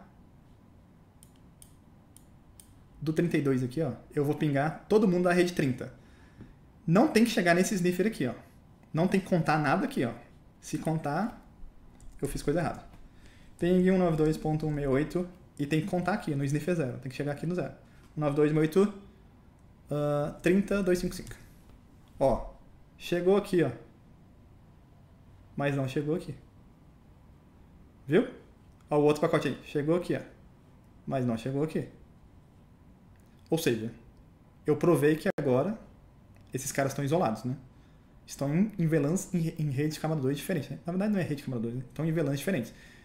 Aqui está na 1 e esses caras estão na 50. Então eu estou criando também na camada 2. Isola. Não adianta você criar redes diferentes se você não isola na 2 também. Ah, então já peguei em casos de empresas que tinham lá VLAN 50 com seis redes dentro da VLAN 50. falei, mano, por que você fez isso? Véio? Não faz sentido. Uma VLAN, uma rede. Uma VLAN, uma rede. Uma VLAN, uma rede. Cada VLAN tem sua rede, cada rede tem sua VLAN. Beleza? Ah, isso é óbvio. Mais ou menos, cara. Tem gente aí que implementa umas paradas que você nem acredita, velho. O que, que, a gente vai fazer? A gente vai criar a VLAN 40, a 30, a 20 uh, e a 10. Então eu venho aqui no switch 4. Aí é a mesma coisa. Conf espaço T, VLAN 40, exit, interface, fast ethernet 0 barra 1, switch port, mode access, switch port, access, VLAN 40, venho aqui na porta 2, switch port, mode access, switch port, access, VLAN 40, end, WR. Agora esses caras aqui estão na VLAN 40. E aí, para andar rápido aqui, eu vou criar um script vai repetir no 3, no 2 e no 1. Como que eu crio um script? Abro meu bloco de notas aqui.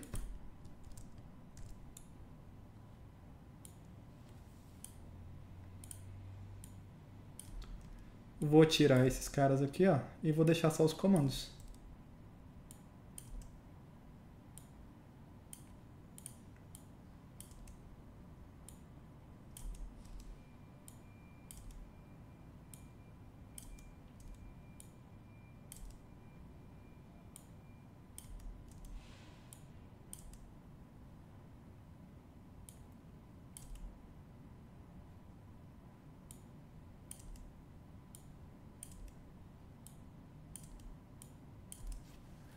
Beleza.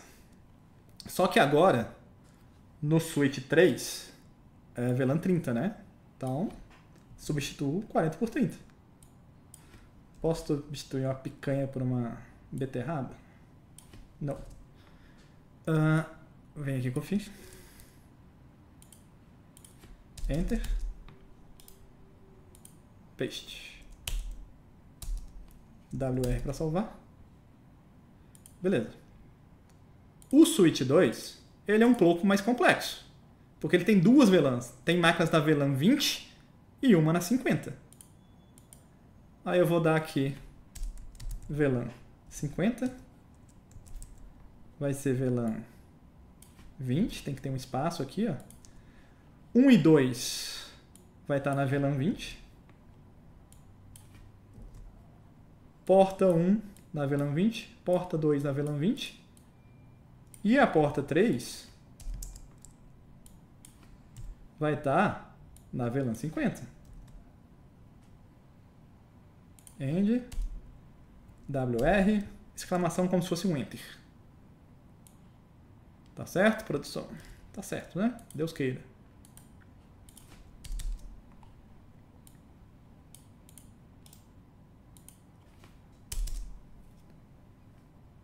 Vamos conferir? Show. VLAN Brief. Vou aumentar essa tela aqui para não ficar esse troço aqui. Ó, porta 1 e 2 na 20. Quando você não coloca o nome, ele coloca o nome para você, ó. VLAN 0020 é o nome que ele deu. Poderia colocar aqui 20, que é, a, sei lá, Pikachu, tá ligado? Access é, é untagged em outros fabricantes. Vou mostrar daqui a pouco porque que ele é untagged. VLAN 50 na 3. WR, salvei. E aí o switch 1 só tem uma VLAN. Então eu tiro aqui. Vai ser só porta 1, que vai ser a VLAN 10. Conf T, VLAN 10, exit. Isso aqui é para criar VLAN. Isso aqui é para criar VLAN, é só um comando. Saio do modo de configuração de VLAN, entro no modo de configuração de interface coloco ela como acesso ou em outros fabricantes como untagged, coloco aqui ela na VLAN 10. Se você coloca uma porta numa VLAN que não existe, ele cria para você. Ele é esperto, cara. Danado. Vamos aqui no Switch 1. Quer dizer, Cisco, né? Outros fabricantes, não. Alguns não.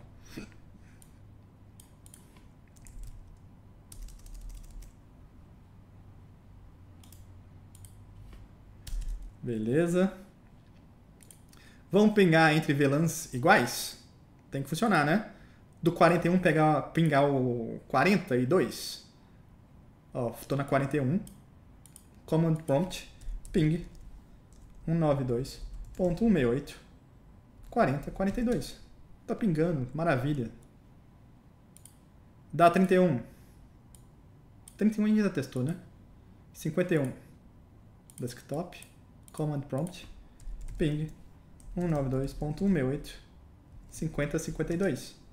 Tá pingando, show de bola. 21. Ping 192.168 20 uh, 22. Tá pingando.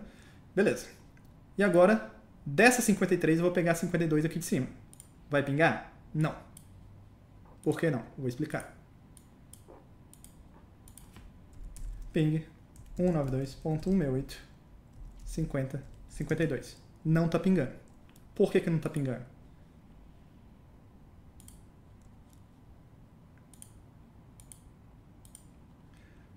Dessa máquina aqui, eu não estou conseguindo pingar essas. Mas a gente não criou a VLAN 50 aqui, criou a VLAN 50 aqui, colocou nessa porta, né? Beleza. Mas eles estão em switches diferentes. Qual VLAN vai ser dessa porta aqui, ó?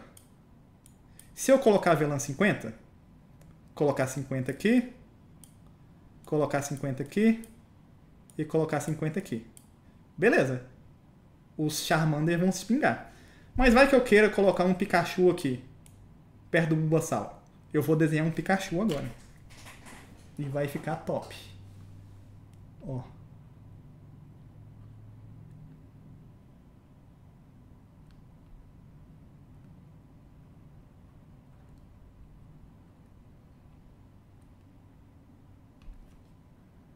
Caralho.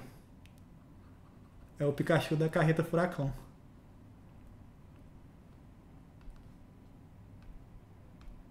Putz grila. Se não der certo com rede, vai para artes plásticas, tá ligado? Caraca, mano. Isso aqui é. Mano do céu. Cara. Velho, vou trocar esse daqui por esse aqui, que esse aqui ficou mais bonito. Enfim. É, se eu quiser colocar um Pikachu aqui, não coloco porque aqui só passa 50, tá ligado?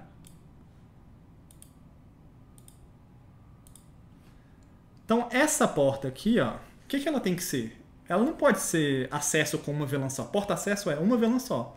Quantas VLANs ela vai ter que ter, tá ligado? Vamos para slides.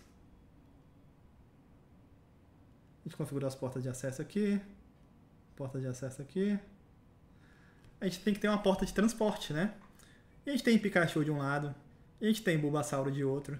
A gente tem Pikachu aqui, Bulbasauro aqui. Se eu colocar somente VLAN 20, que é do Bulbasauro aqui nesse caso, só o Bulbasauro vai conversar com o Bulbasauro. E o Pikachu vai ficar triste, né, mano? Pica quer pica, né? Pica quer conversar com pica. Se eu colocar na VLAN 10, o Bulbasauro vai ficar triste, porque o Bulbasauro quer conversar com o Bulbasauro do outro lado. E aí? O que, que você faz? Caralho, coloca nas duas, porra. Colocar nas duas. Vai colocar nas duas VLAN ao mesmo tempo. E como é que chama isso? Chama porta-tronco. Ou em outros fabricantes como Tagged Port. Por que Tagged Port? Por causa disso aqui, ó. Quando eu gero um frame aqui na VLAN 20, e esse frame tem que ser transportado para outro switch, se eu mandar sem falar qual VLAN ele pertence, dentro do mesmo switch ele sabe qual VLAN que tá, porque você configurou. Agora quando você manda para outro switch, chega nesse switch, cara, beleza, filhão, que VLAN que você tá? É, não sei. Mano, descarta o frame, tá ligado?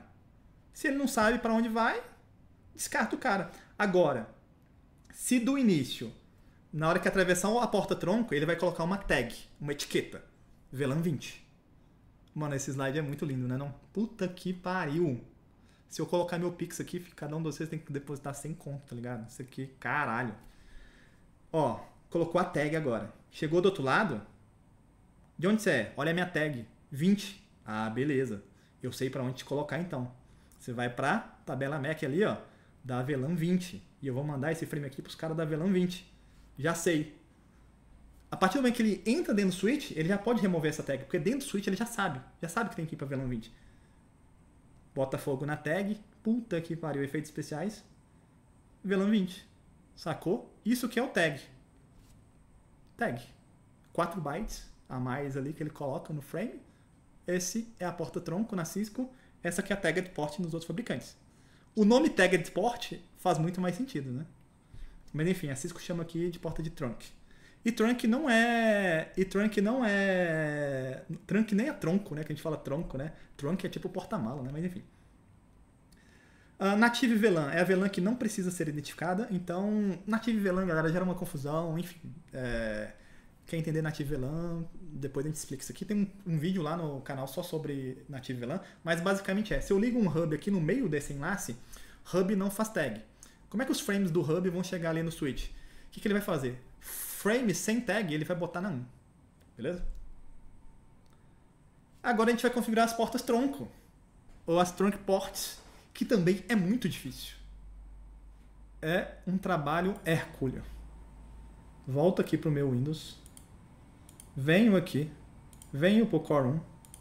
Quais são as portas que são tronco? Todas as portas que ligam um switch no outro. Então aqui, ó, 1 barra 0 barra 5, 4, do ponto de vista do 1, né? Cadê a topologia?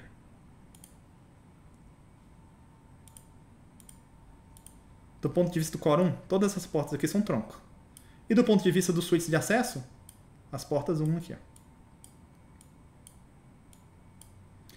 Eu só vou configurar na ponta aqui do core. Por quê? Porque a Cisco tem um protocolo chamado DTP, Dynamic Trunk Protocol. Quando eu configuro aqui, ele automaticamente vai negociar um tronco com esse cara aqui. O certo mesmo é você configurar nas duas pontas, beleza?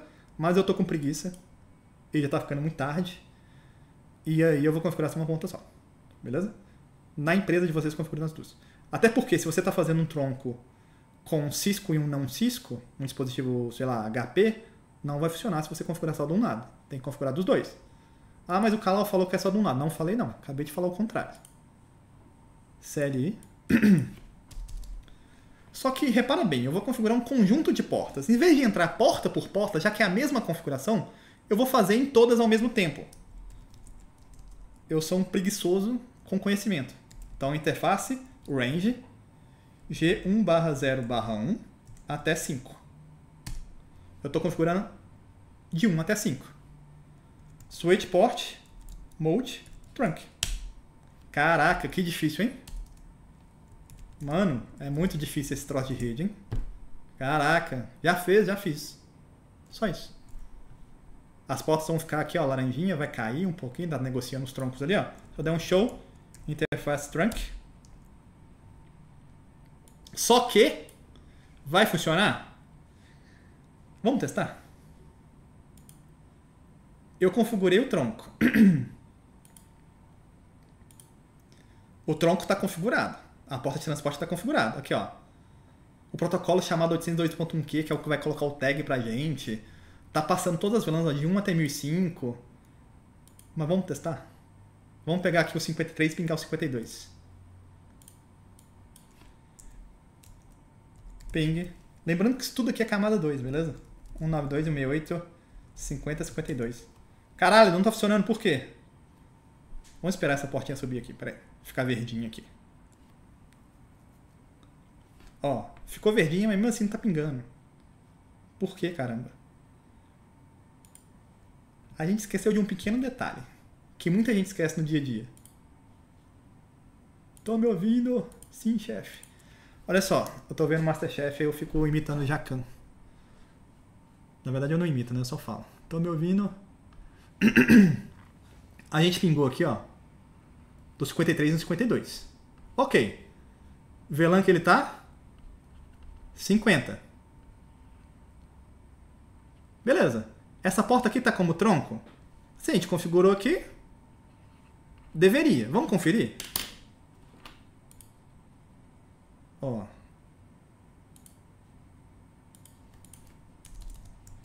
Show Interface Track. Ó, porta G0/1. Tá, como tronco, ó. Como é que eu vejo? Se eu dou um show interface trunk, essa porta parece que ela tá com tronco. Ó, tá passando quais VLANs aqui? 50 e 20. Bonito.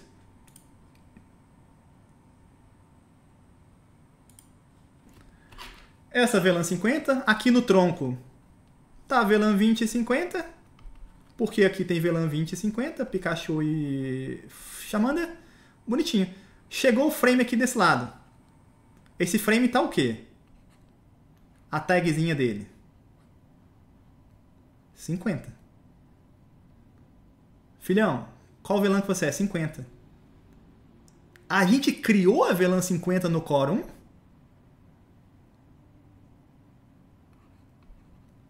Interrogação.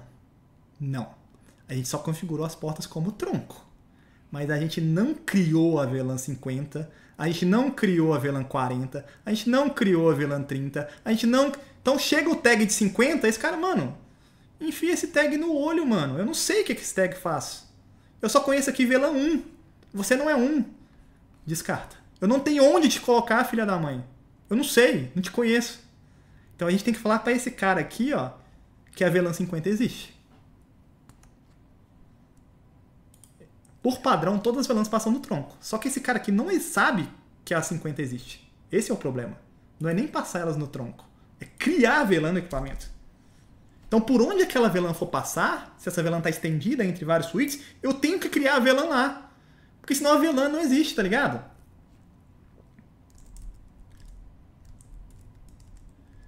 VLAN 50. Só de fazer isso, tem que funcionar.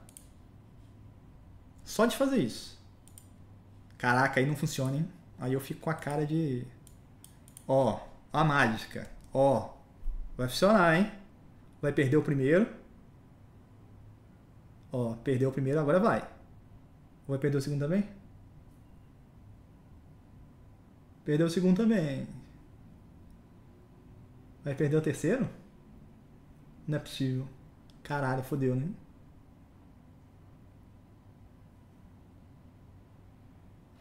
Perdeu tudo, não é possível. O que, que eu fiz? Ah, foi, caramba. Ei, mata nós do coração, caralho. Eu tô certo, porra. Eu sei que eu tô certo. Caralho, eu dou aula dessa porra, mano. Aí, ó. Perdeu os primeiros, provavelmente por causa do. Tá populando aqui, né? Tabela Mac, o ARP chega lá, né? Beleza. Chupa, Matheus. Quem falou que não, mano? Aí, ó. Nunca duvidei, né? Beleza. Só de criar a VLAN aqui, só que eu tenho que criar as outras, né?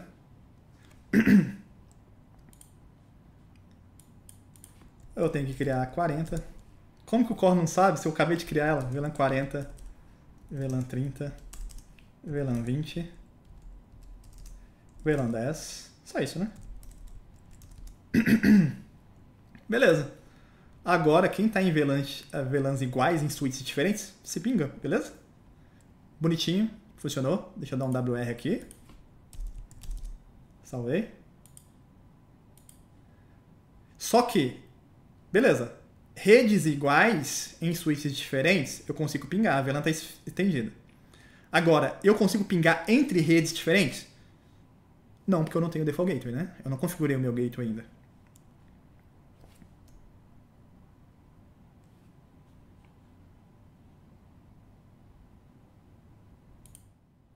E agora que a gente vai ver o encaminhamento de dados entre VLANs.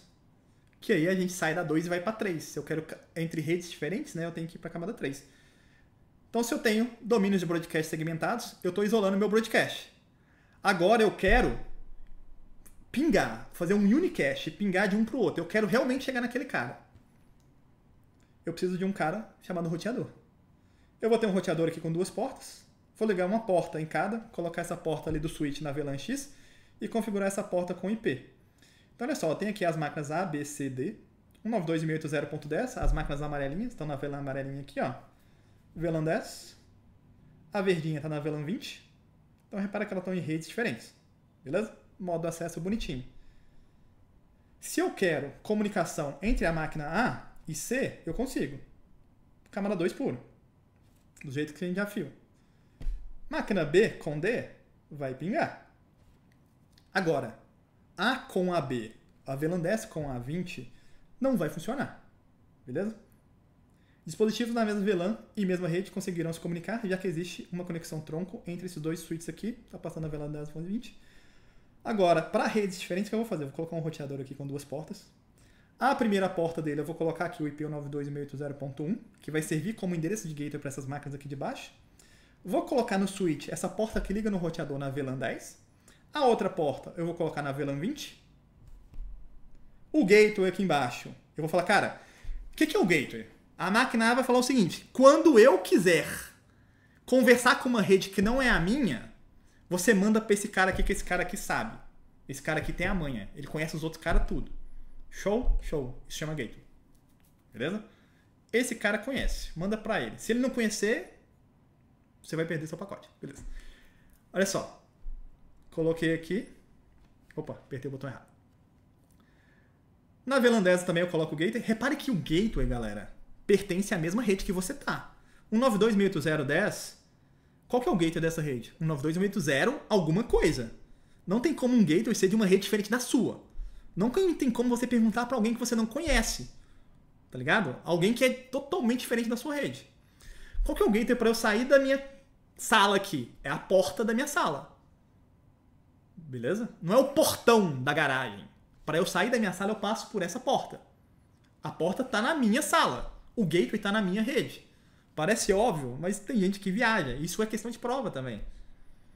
O gateway da rede 172.16.0 é o IP que eu configurei lá na interface do roteador. O que, que vai acontecer agora?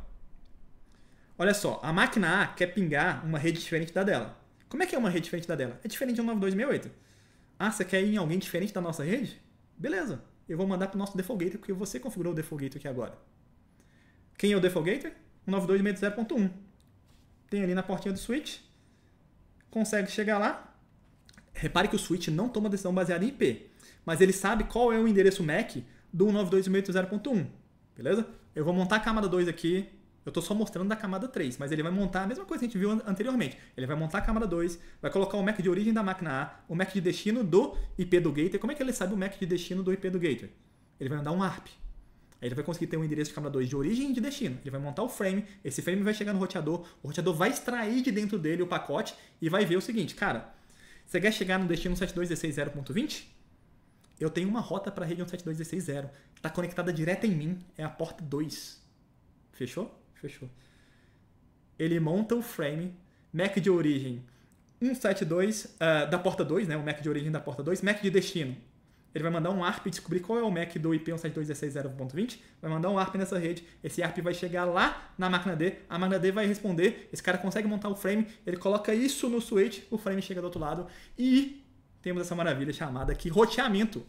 Roteamento é eu atravesso um elemento de câmera 3 para alcançar redes diferentes. O roteador serve para isso, beleza?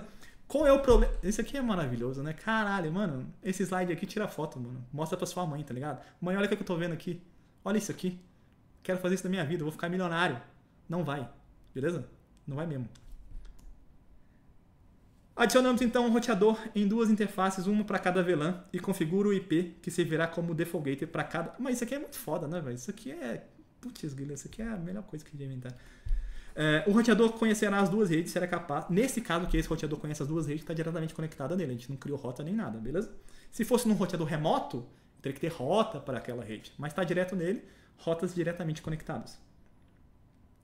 Mas esse tipo de design aqui ó, é muito ruim, por quê? E se eu tiver 100 VLANs?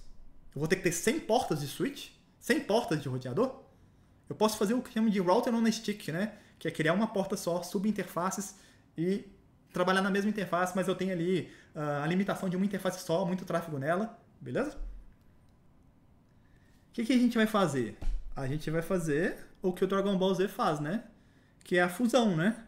A gente vai cruzar, não no sentido que vocês estão pensando, mas a gente vai conectar, a gente vai fundir, a gente vai fusionar um switch com um roteador. E a gente vai criar o switch camada 3, que é como se fosse um roteador que está lá dentro do switch camada 2. E não precisa mais ter porta física, a gente vai ter portas virtuais, né? Interface VLAN, switch virtual interface. É como se fosse a porta física, que era 1 e 2, agora é uma porta lógica, que você dá comando e cria ela. Você não pluga cabo, tá ligado? Entendeu? Eu fico muito empolgado, né? Mas é, é empolgante. Ou não, né? É...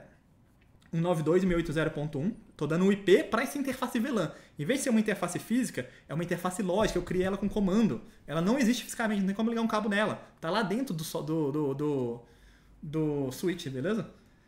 Interface VLAN 20, 172.16.0.1.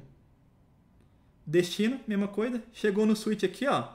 Ele consulta, agora ele tem uma tabela de... Além dele ter uma tabela MAC, ele tem também uma tabela de roteamento, porque ele é um switch camada 3. Ele é 2 e 3. Ele faz tudo, esse cara. Ele toca bateria e guitarra. Chegou aqui. Vem pra cá. Temos um jogo, né? Funcionou. Beleza? E o tráfego volta, volta pra cá e volta pra lá. Um switch Layer 3 tem a capacidade de rotear pacotes entre redes diferentes. Para isso criamos interface VLAN. Associamos um IP SVI ou SVI, Switch Virtual Interface ou simplesmente interface VLAN. Esse aqui não é router on stick, viu, galera? Esse aqui é roteamento em switch camada 3. E para fechar a aula de hoje, graças a Deus, 10 e 13, vamos configurar os nossos gateways com endereço IPv4 e IPv6. Que maravilha! Vem aqui no meu core. Para criar a interface VLAN é muito difícil também. Conf espaço T. Interface VLAN 10 Vou colocar aqui, ó. IP address 192.168.10.1 255 255 255.0 Vou dar um IPv6 enable para habilitar IPv6 nessa caixa. Vou dar aqui IPv6 address, aí vai ser o 2001, dois pontos. É um endereço válido, é um endereço público, na verdade, um endereço global que a gente está colocando aqui, DB8 dois pontos 10, dois pontos, dois pontos uh, 1 barra 64. End, WR, vamos dar aqui um show IP interface brief para ver o IPv4. Ó, tá o IPv4 aqui. E para ver o IPv6, show IPv6 interface brief. O IPv6 está aqui, ó. Essa, repare que ele cria automaticamente aqui ó, o endereço link local. Eu não criei, é automático. Beleza? Uh, vamos dar um show IP route para ver a tabela de roteamento. Ele não criou tabela de roteamento porque a gente ainda não avisou para ele que ele vai ser um roteador. A gente não fez a fusão aqui ainda. Para fazer isso tem um comando especial aqui, ó, que é o uh, ah, IP routing. IP routing? É, IP routing. E para IPv6, IPv6 e Unicast routing. Show IP route. Agora aparece. O que, que aparece na tabela de roteamento dele? Só uma rota. Uma rota para a interface VLAN 10. Esse C aqui ó, é diretamente conectada. Ele sabe chegar na rede 10. E as outras? A gente vai criar agora. Show. IPv6 route, mesma coisa. Ele sabe VLAN 10. 2001 DB8 10. Vamos criar as outras? Sim, professor. Vamos lá. Vamos criar aqui a interface. Vamos criar script, né? Para ficar mais fácil para nós. Capinar sentado tá foda, né? Vamos capinar em pé. Vamos criar os scripts aqui. Esse comando aqui eu não preciso. E é isso aqui. Vamos criar da 20. Que vai ser... Só muda aqui 20.1, só muda aqui 20.1. Ctrl C. Vamos colocar aqui, ó. 30.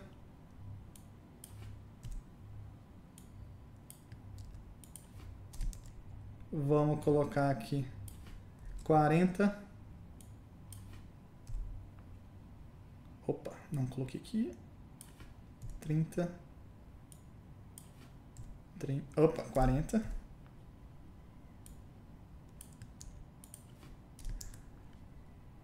50. Só para ficar mais rapidinho aqui. 50.1.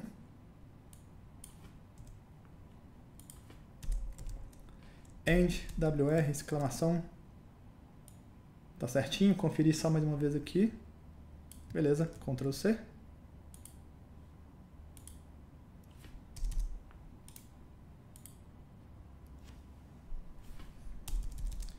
Show IP route.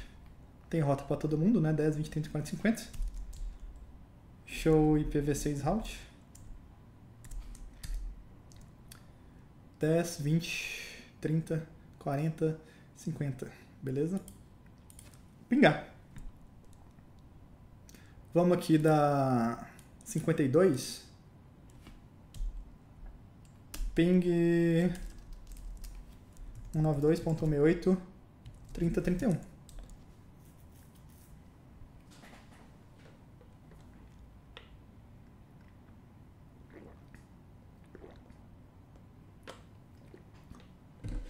Aquele momento de tensão, né? O que, que faltou a gente configurar, caramba? Não vai pingar, né, filhão? A gente tem que configurar o default gateway aqui, ó. A gente não configurou o default gateway, né? A gente vem aqui, ó, settings, 192.168, 50.1. Se eu estou na máquina 52, 50.1 default gateway. E aqui no IPv6 ele vai pegar automático.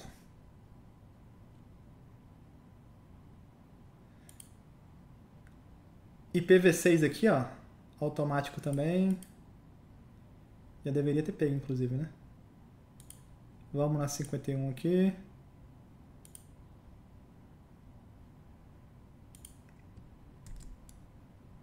colocar automático aqui.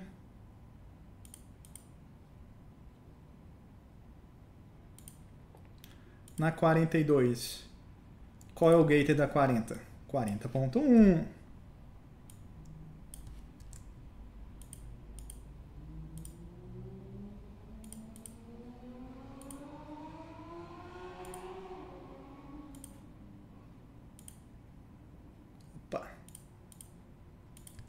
quarenta ponto um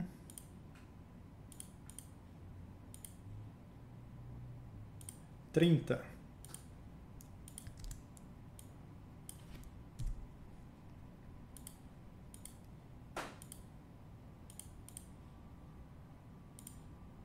trinta e um aqui eita configurei errado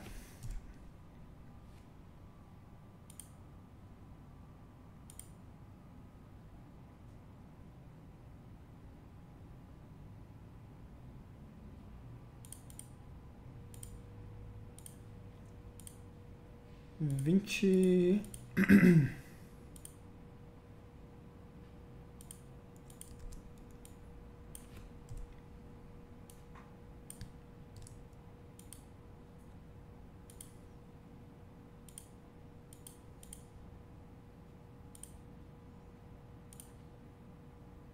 Vinte e dois.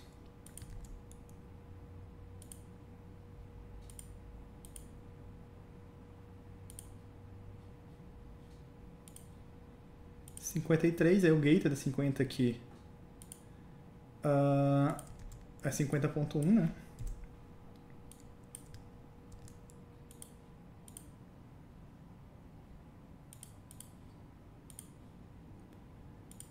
E aqui dá 10, é 10.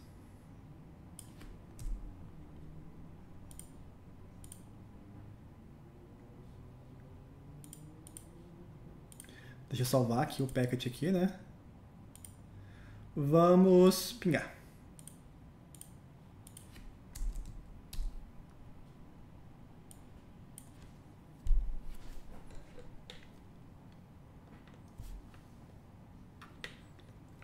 Tá vivo. 30, peguei da 50 eu pinguei a 31. Pingar a 32.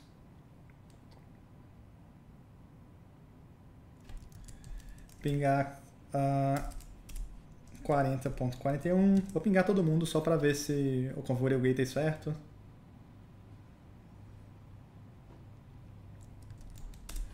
Pingar 42.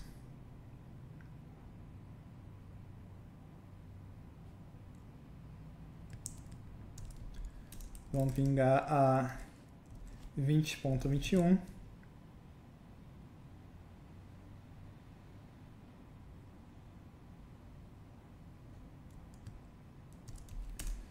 Vinte e dois.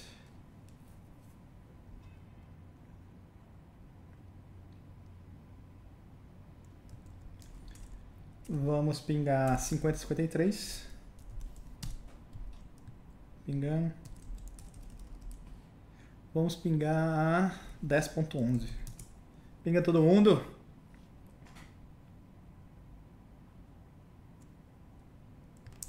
Vamos ver o IPv6. Opa. Ó, o IPv6 não pegou, né? Ele deveria pegar aqui automaticamente.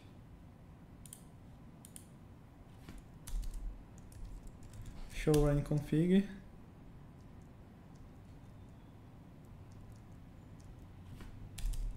Beleza, salvei. Galera, sorteiozinho aqui rapidão para a gente encerrar. Eu só vou fechar meu packet e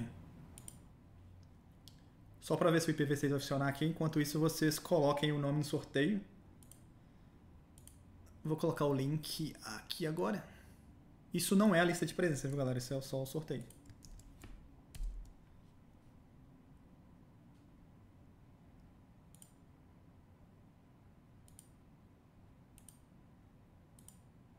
Vou colocar lá no site também.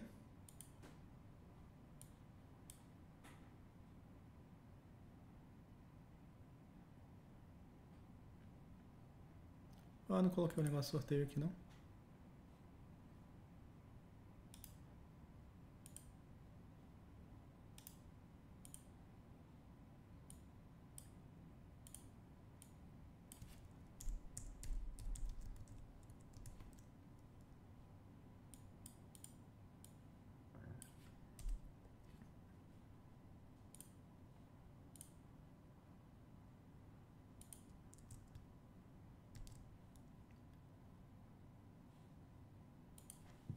Coloquei lá também.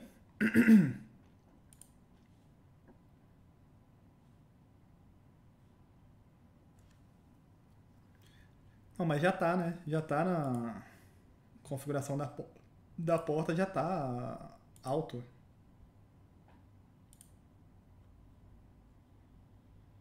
A configuração da porta aqui já tá. Já tá.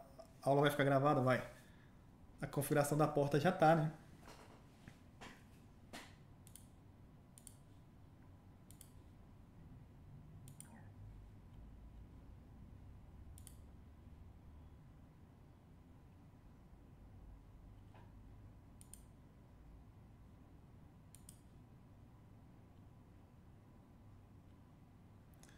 Galera, respondam aí, eu vou colocar três minutinhos, beleza? Aqui no cronômetro.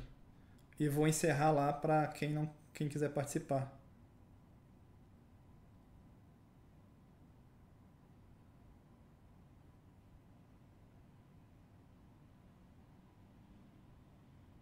A entrega no Brasil, viu, galera? Então, é, tem que ter algum endereço no Brasil para eu mandar as paradas.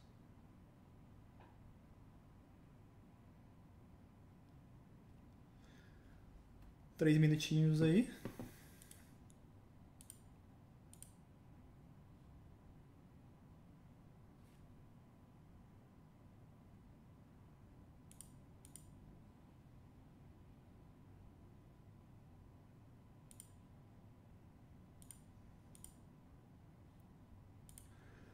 Ó, galera, eu dei uma bultada aqui no packet e as máquinas pegaram IPv6, ó. Se eu ver aqui, config, ó. Ó, já pegou aqui o endereço IPv6. Deixa eu, deixa eu... Ó, pegou o endereço IPv6 aqui, ó. E ele já pegou o endereço IPv6, é lógico, né, da rede que ele pertence, né? Como que ele fez isso? Através de SIMPv6. Tem um protocolo chamado Neighborhood Discovery Protocol. O roteador aqui, que no caso é o Core que é um switch L3, ele manda um... Vai ter sorteio para as meninas sim, galera. Ele manda um router advertisement pra cá e fala, cara, eu sou um roteador. O cara, ah, beleza. Se é um roteador, eu vou anotar aqui. Olha só, ele anota o default gateway. que é o IP do link local do roteador aqui, ó. Se eu pegar aqui, isso aqui é VLAN 20. Se eu vier aqui no Core 1, show IPv6 interface brief, olha só, VLAN 20, esse aqui é o endereço link local dela, ó. É C03, ó, é C03. Então ele usou como endereço de gateway o endereço link local. Tá vendo? Esse endereço link local, automaticamente ele cria ele e ele é usado como gateway.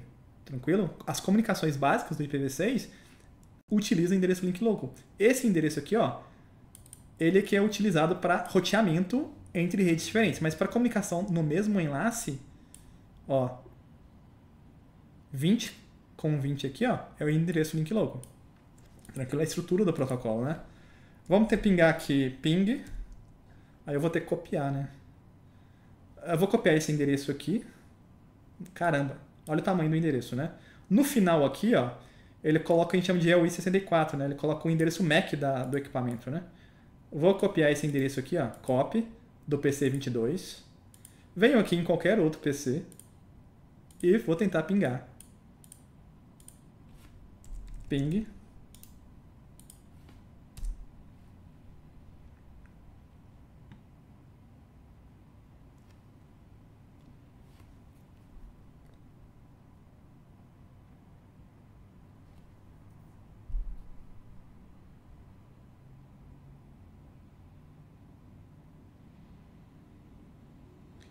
Não tá pingando? Faltou alguma coisa?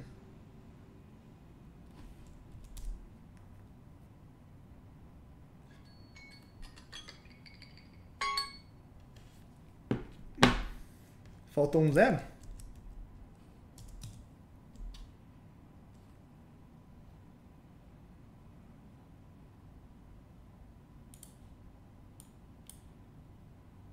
Deixa eu ver aqui.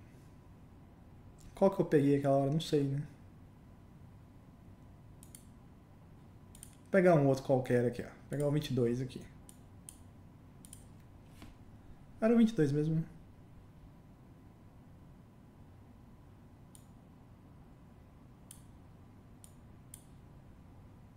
Ping 2001 DB8 20 2.0 20C85 FF FEAB E300. Uh, deixa eu ver se eu consigo pingar pelo menos o o meu 50 2.2.1. Ó, tô pingando o default gateway aqui.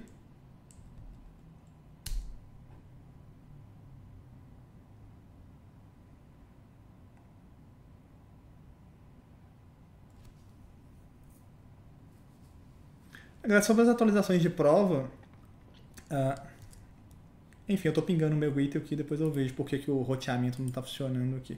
Provavelmente algum bug aqui. Sobre as atualizações de prova, ainda não saiu, né? Pode ser uma atualização minor. Uh, minor é uma atualização mínima, né, do, do, do exame. Ou pode ser uma atualização major, né, que seria trocar realmente o exame inteiro, né? Trocar, inclusive, o código do exame, né? E aí a gente tem que aguardar para ver o que, que vai acontecer. Fato é que quem compra o treinamento, né, o meu treinamento, se a prova mudar, se você comprou nos últimos um ano, você tem a atualização do curso de graça, né?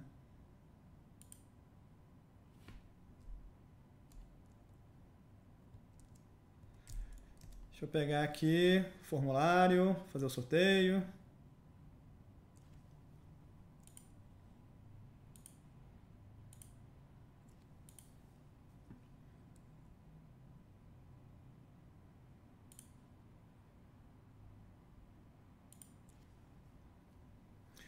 Cara, tirei aqui do sorteio, planilha.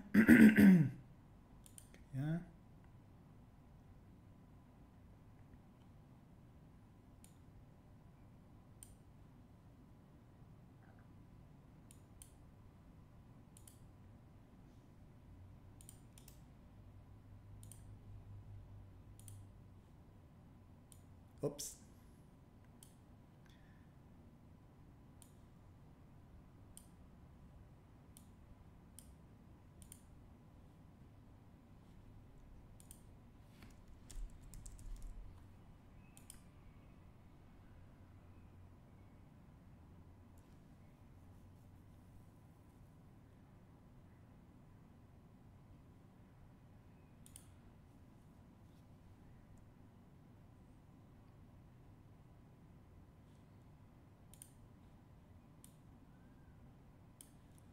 Vamos lá, galera.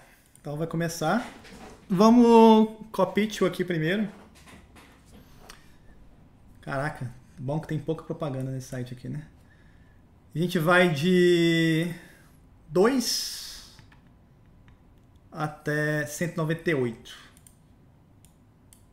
Um número, 2 até 198. Opa!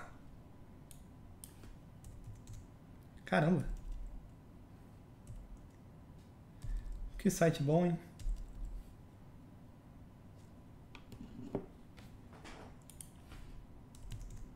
Ah. 63. Quem será o 63 aqui?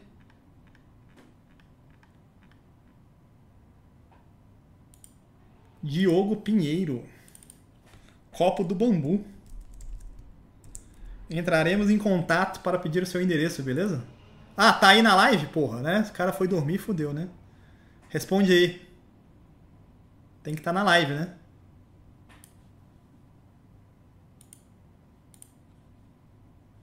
Ó, oh, caraca, o cara tá rápido. Vamos para o próximo. Canequinha da caveirinha. Canequinha da caveirinha. Uh, vamos de novo.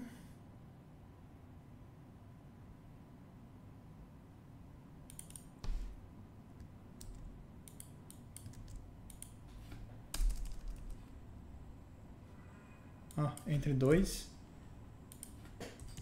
198. Sortear 40. Caraca. Matheus Heller. Tá aí?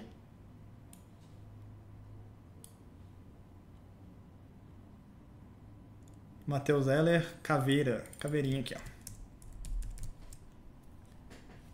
Cadê o Matheus?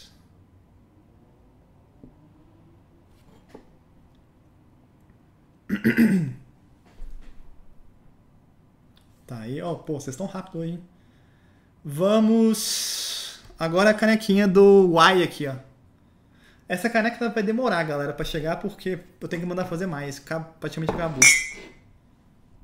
Vamos lá. 103. Sebastião Cordeiro.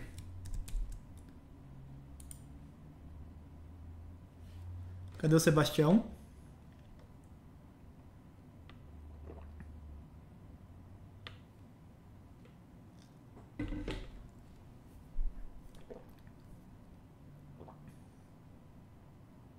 Lá ele. Sebastião, ping, tá dando pontinha, né? Plic, plic, plic.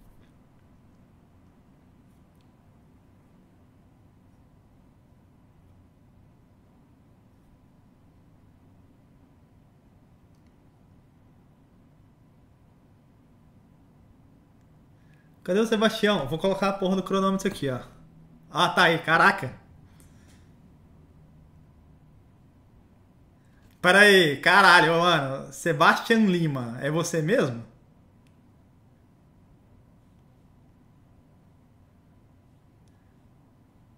É você, mano? Qual que é o seu e-mail? É o Sebastian mesmo? Não é? Que porra é essa?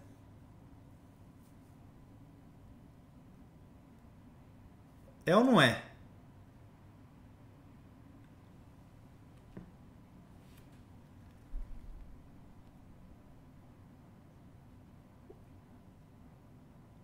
Qual que é o seu e-mail, mano?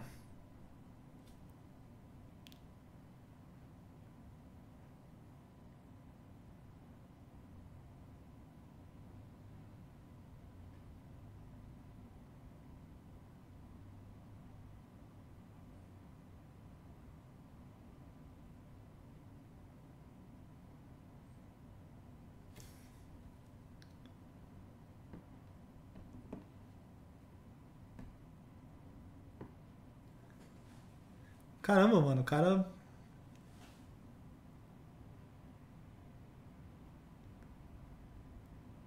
O cara tá sonhando.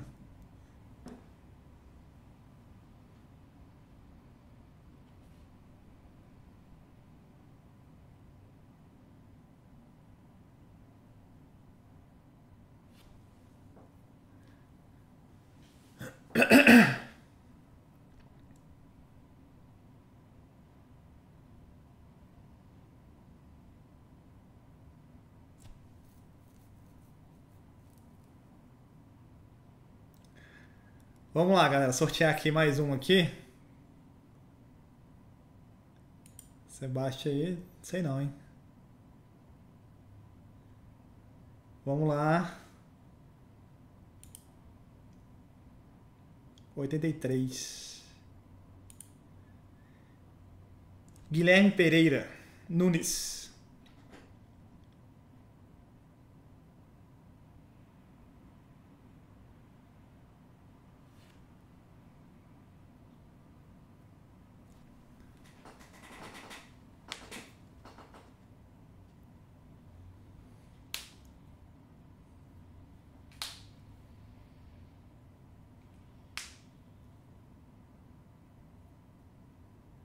Cadê o Guilherme, porra? Ah, tá aí. Então, beleza. Vou trocar aqui.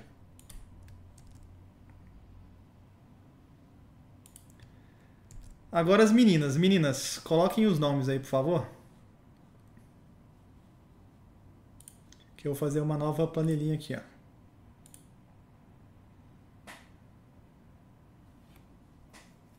Tem meninas aí online?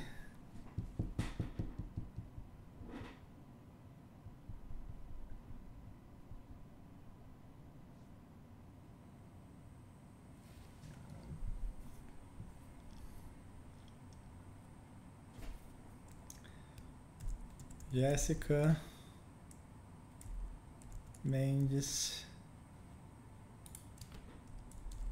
Gilvia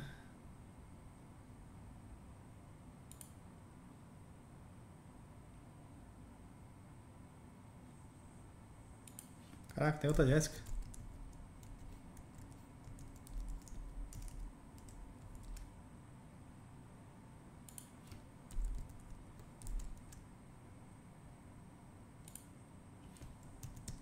Raquel. Silvia.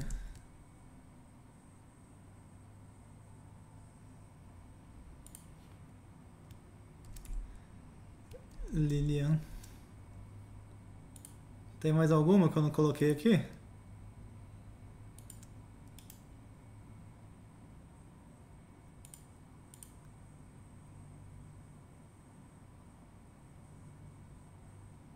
Luna.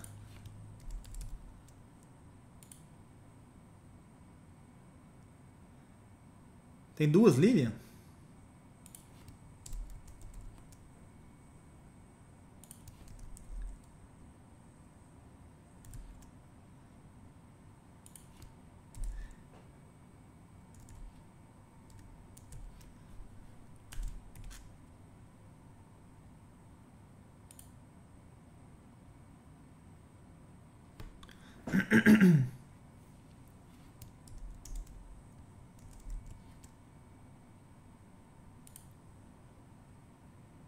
Tem duas Camilas?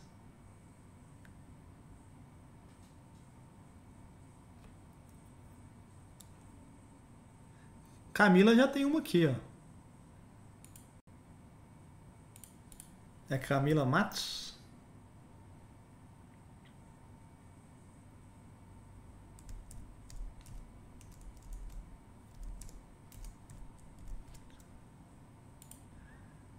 Ó, beleza. Tá todo mundo aqui, eu acho. De 1 até 12.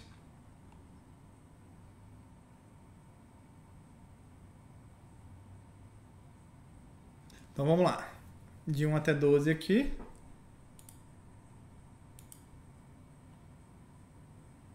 Laura.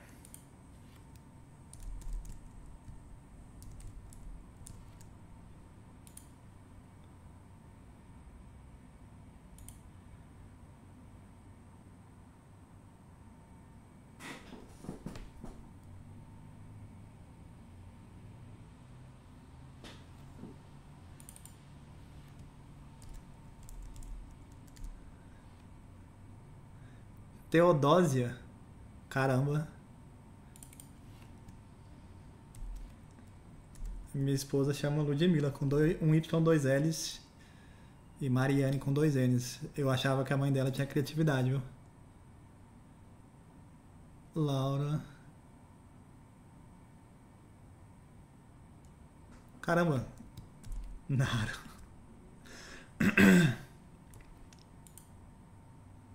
Vamos lá, vamos lá, vamos lá. Acabou, gente. 16 aqui, né?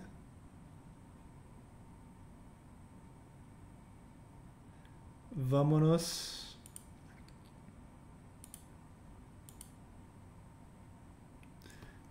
Nara já tá aqui. 1 até 16.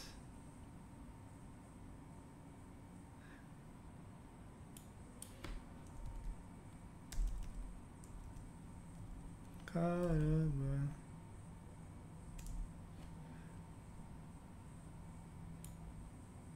Ah, É um.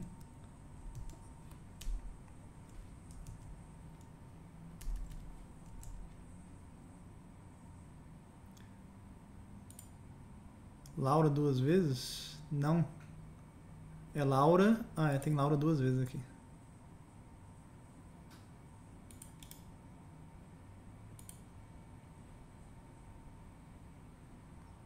Ó, se o cara tá trocando nome e foto de perfil, o cara é muito filho da puta, né, velho? É um arrombado mesmo.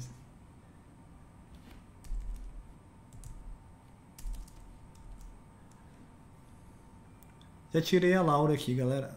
1 a 15. Vamos lá. Primeiro copo do bambu.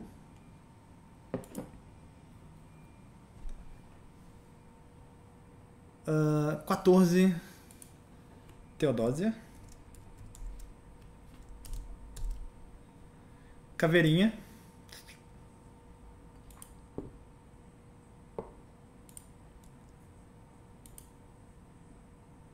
Doze. Agora.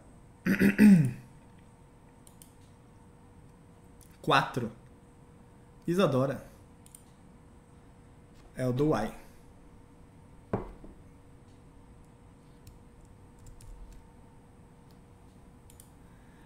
Ah, meninas, é, tem que me mandar um e-mail, beleza? Manda lá no.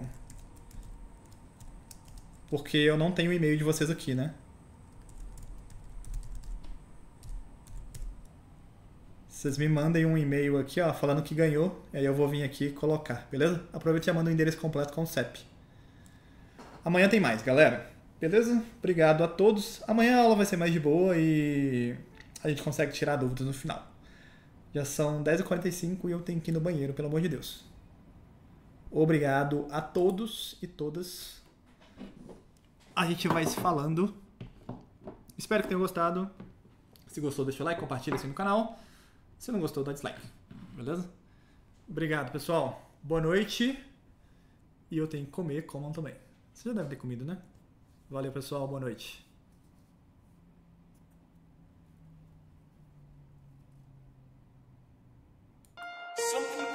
Success.